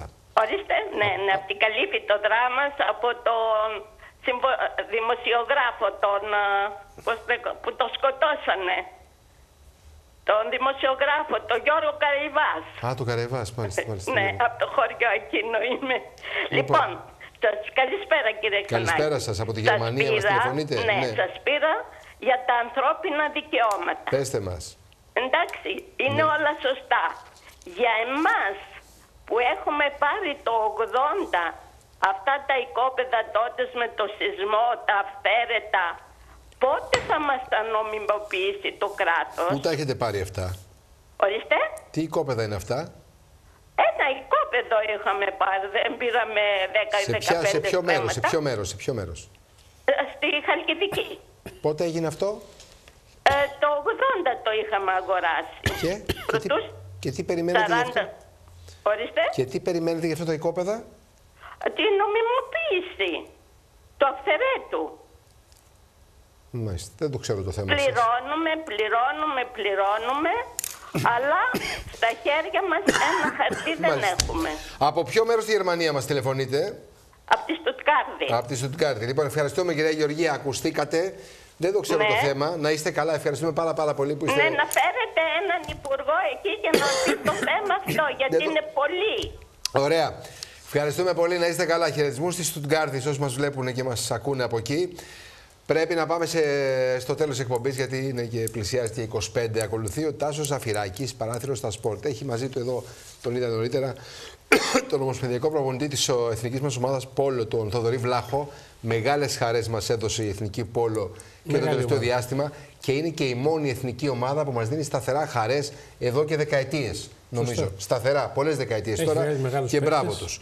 Λοιπόν, ο πρώην ποδοσφαιριστής του Παναθηναϊκού, ο μεγάλος Άσο, Τότης Φυλακούρης, τον ευχαριστούμε πάρα πολύ και για αυτόν για τη μεγάλη προσφορά στον ελληνικό αθλητισμό. Και αυτό σε λίγο εδώ με τον Τάσο Ζαφυράκη. Ρεπορτάζ από τις ομάδες και πολλά άλλα. Μην φύγει κανείς λοιπόν, ζωντανή η εκπομπή. Εμείς θα ανανεώσουμε το ραντεβού μας για τη Δευτέρα το βράδυ εδώ στις 10 παρα 10. Καλό βράδυ, καλό Σαββατοκύριακο. Να προσέχετε τον εαυτό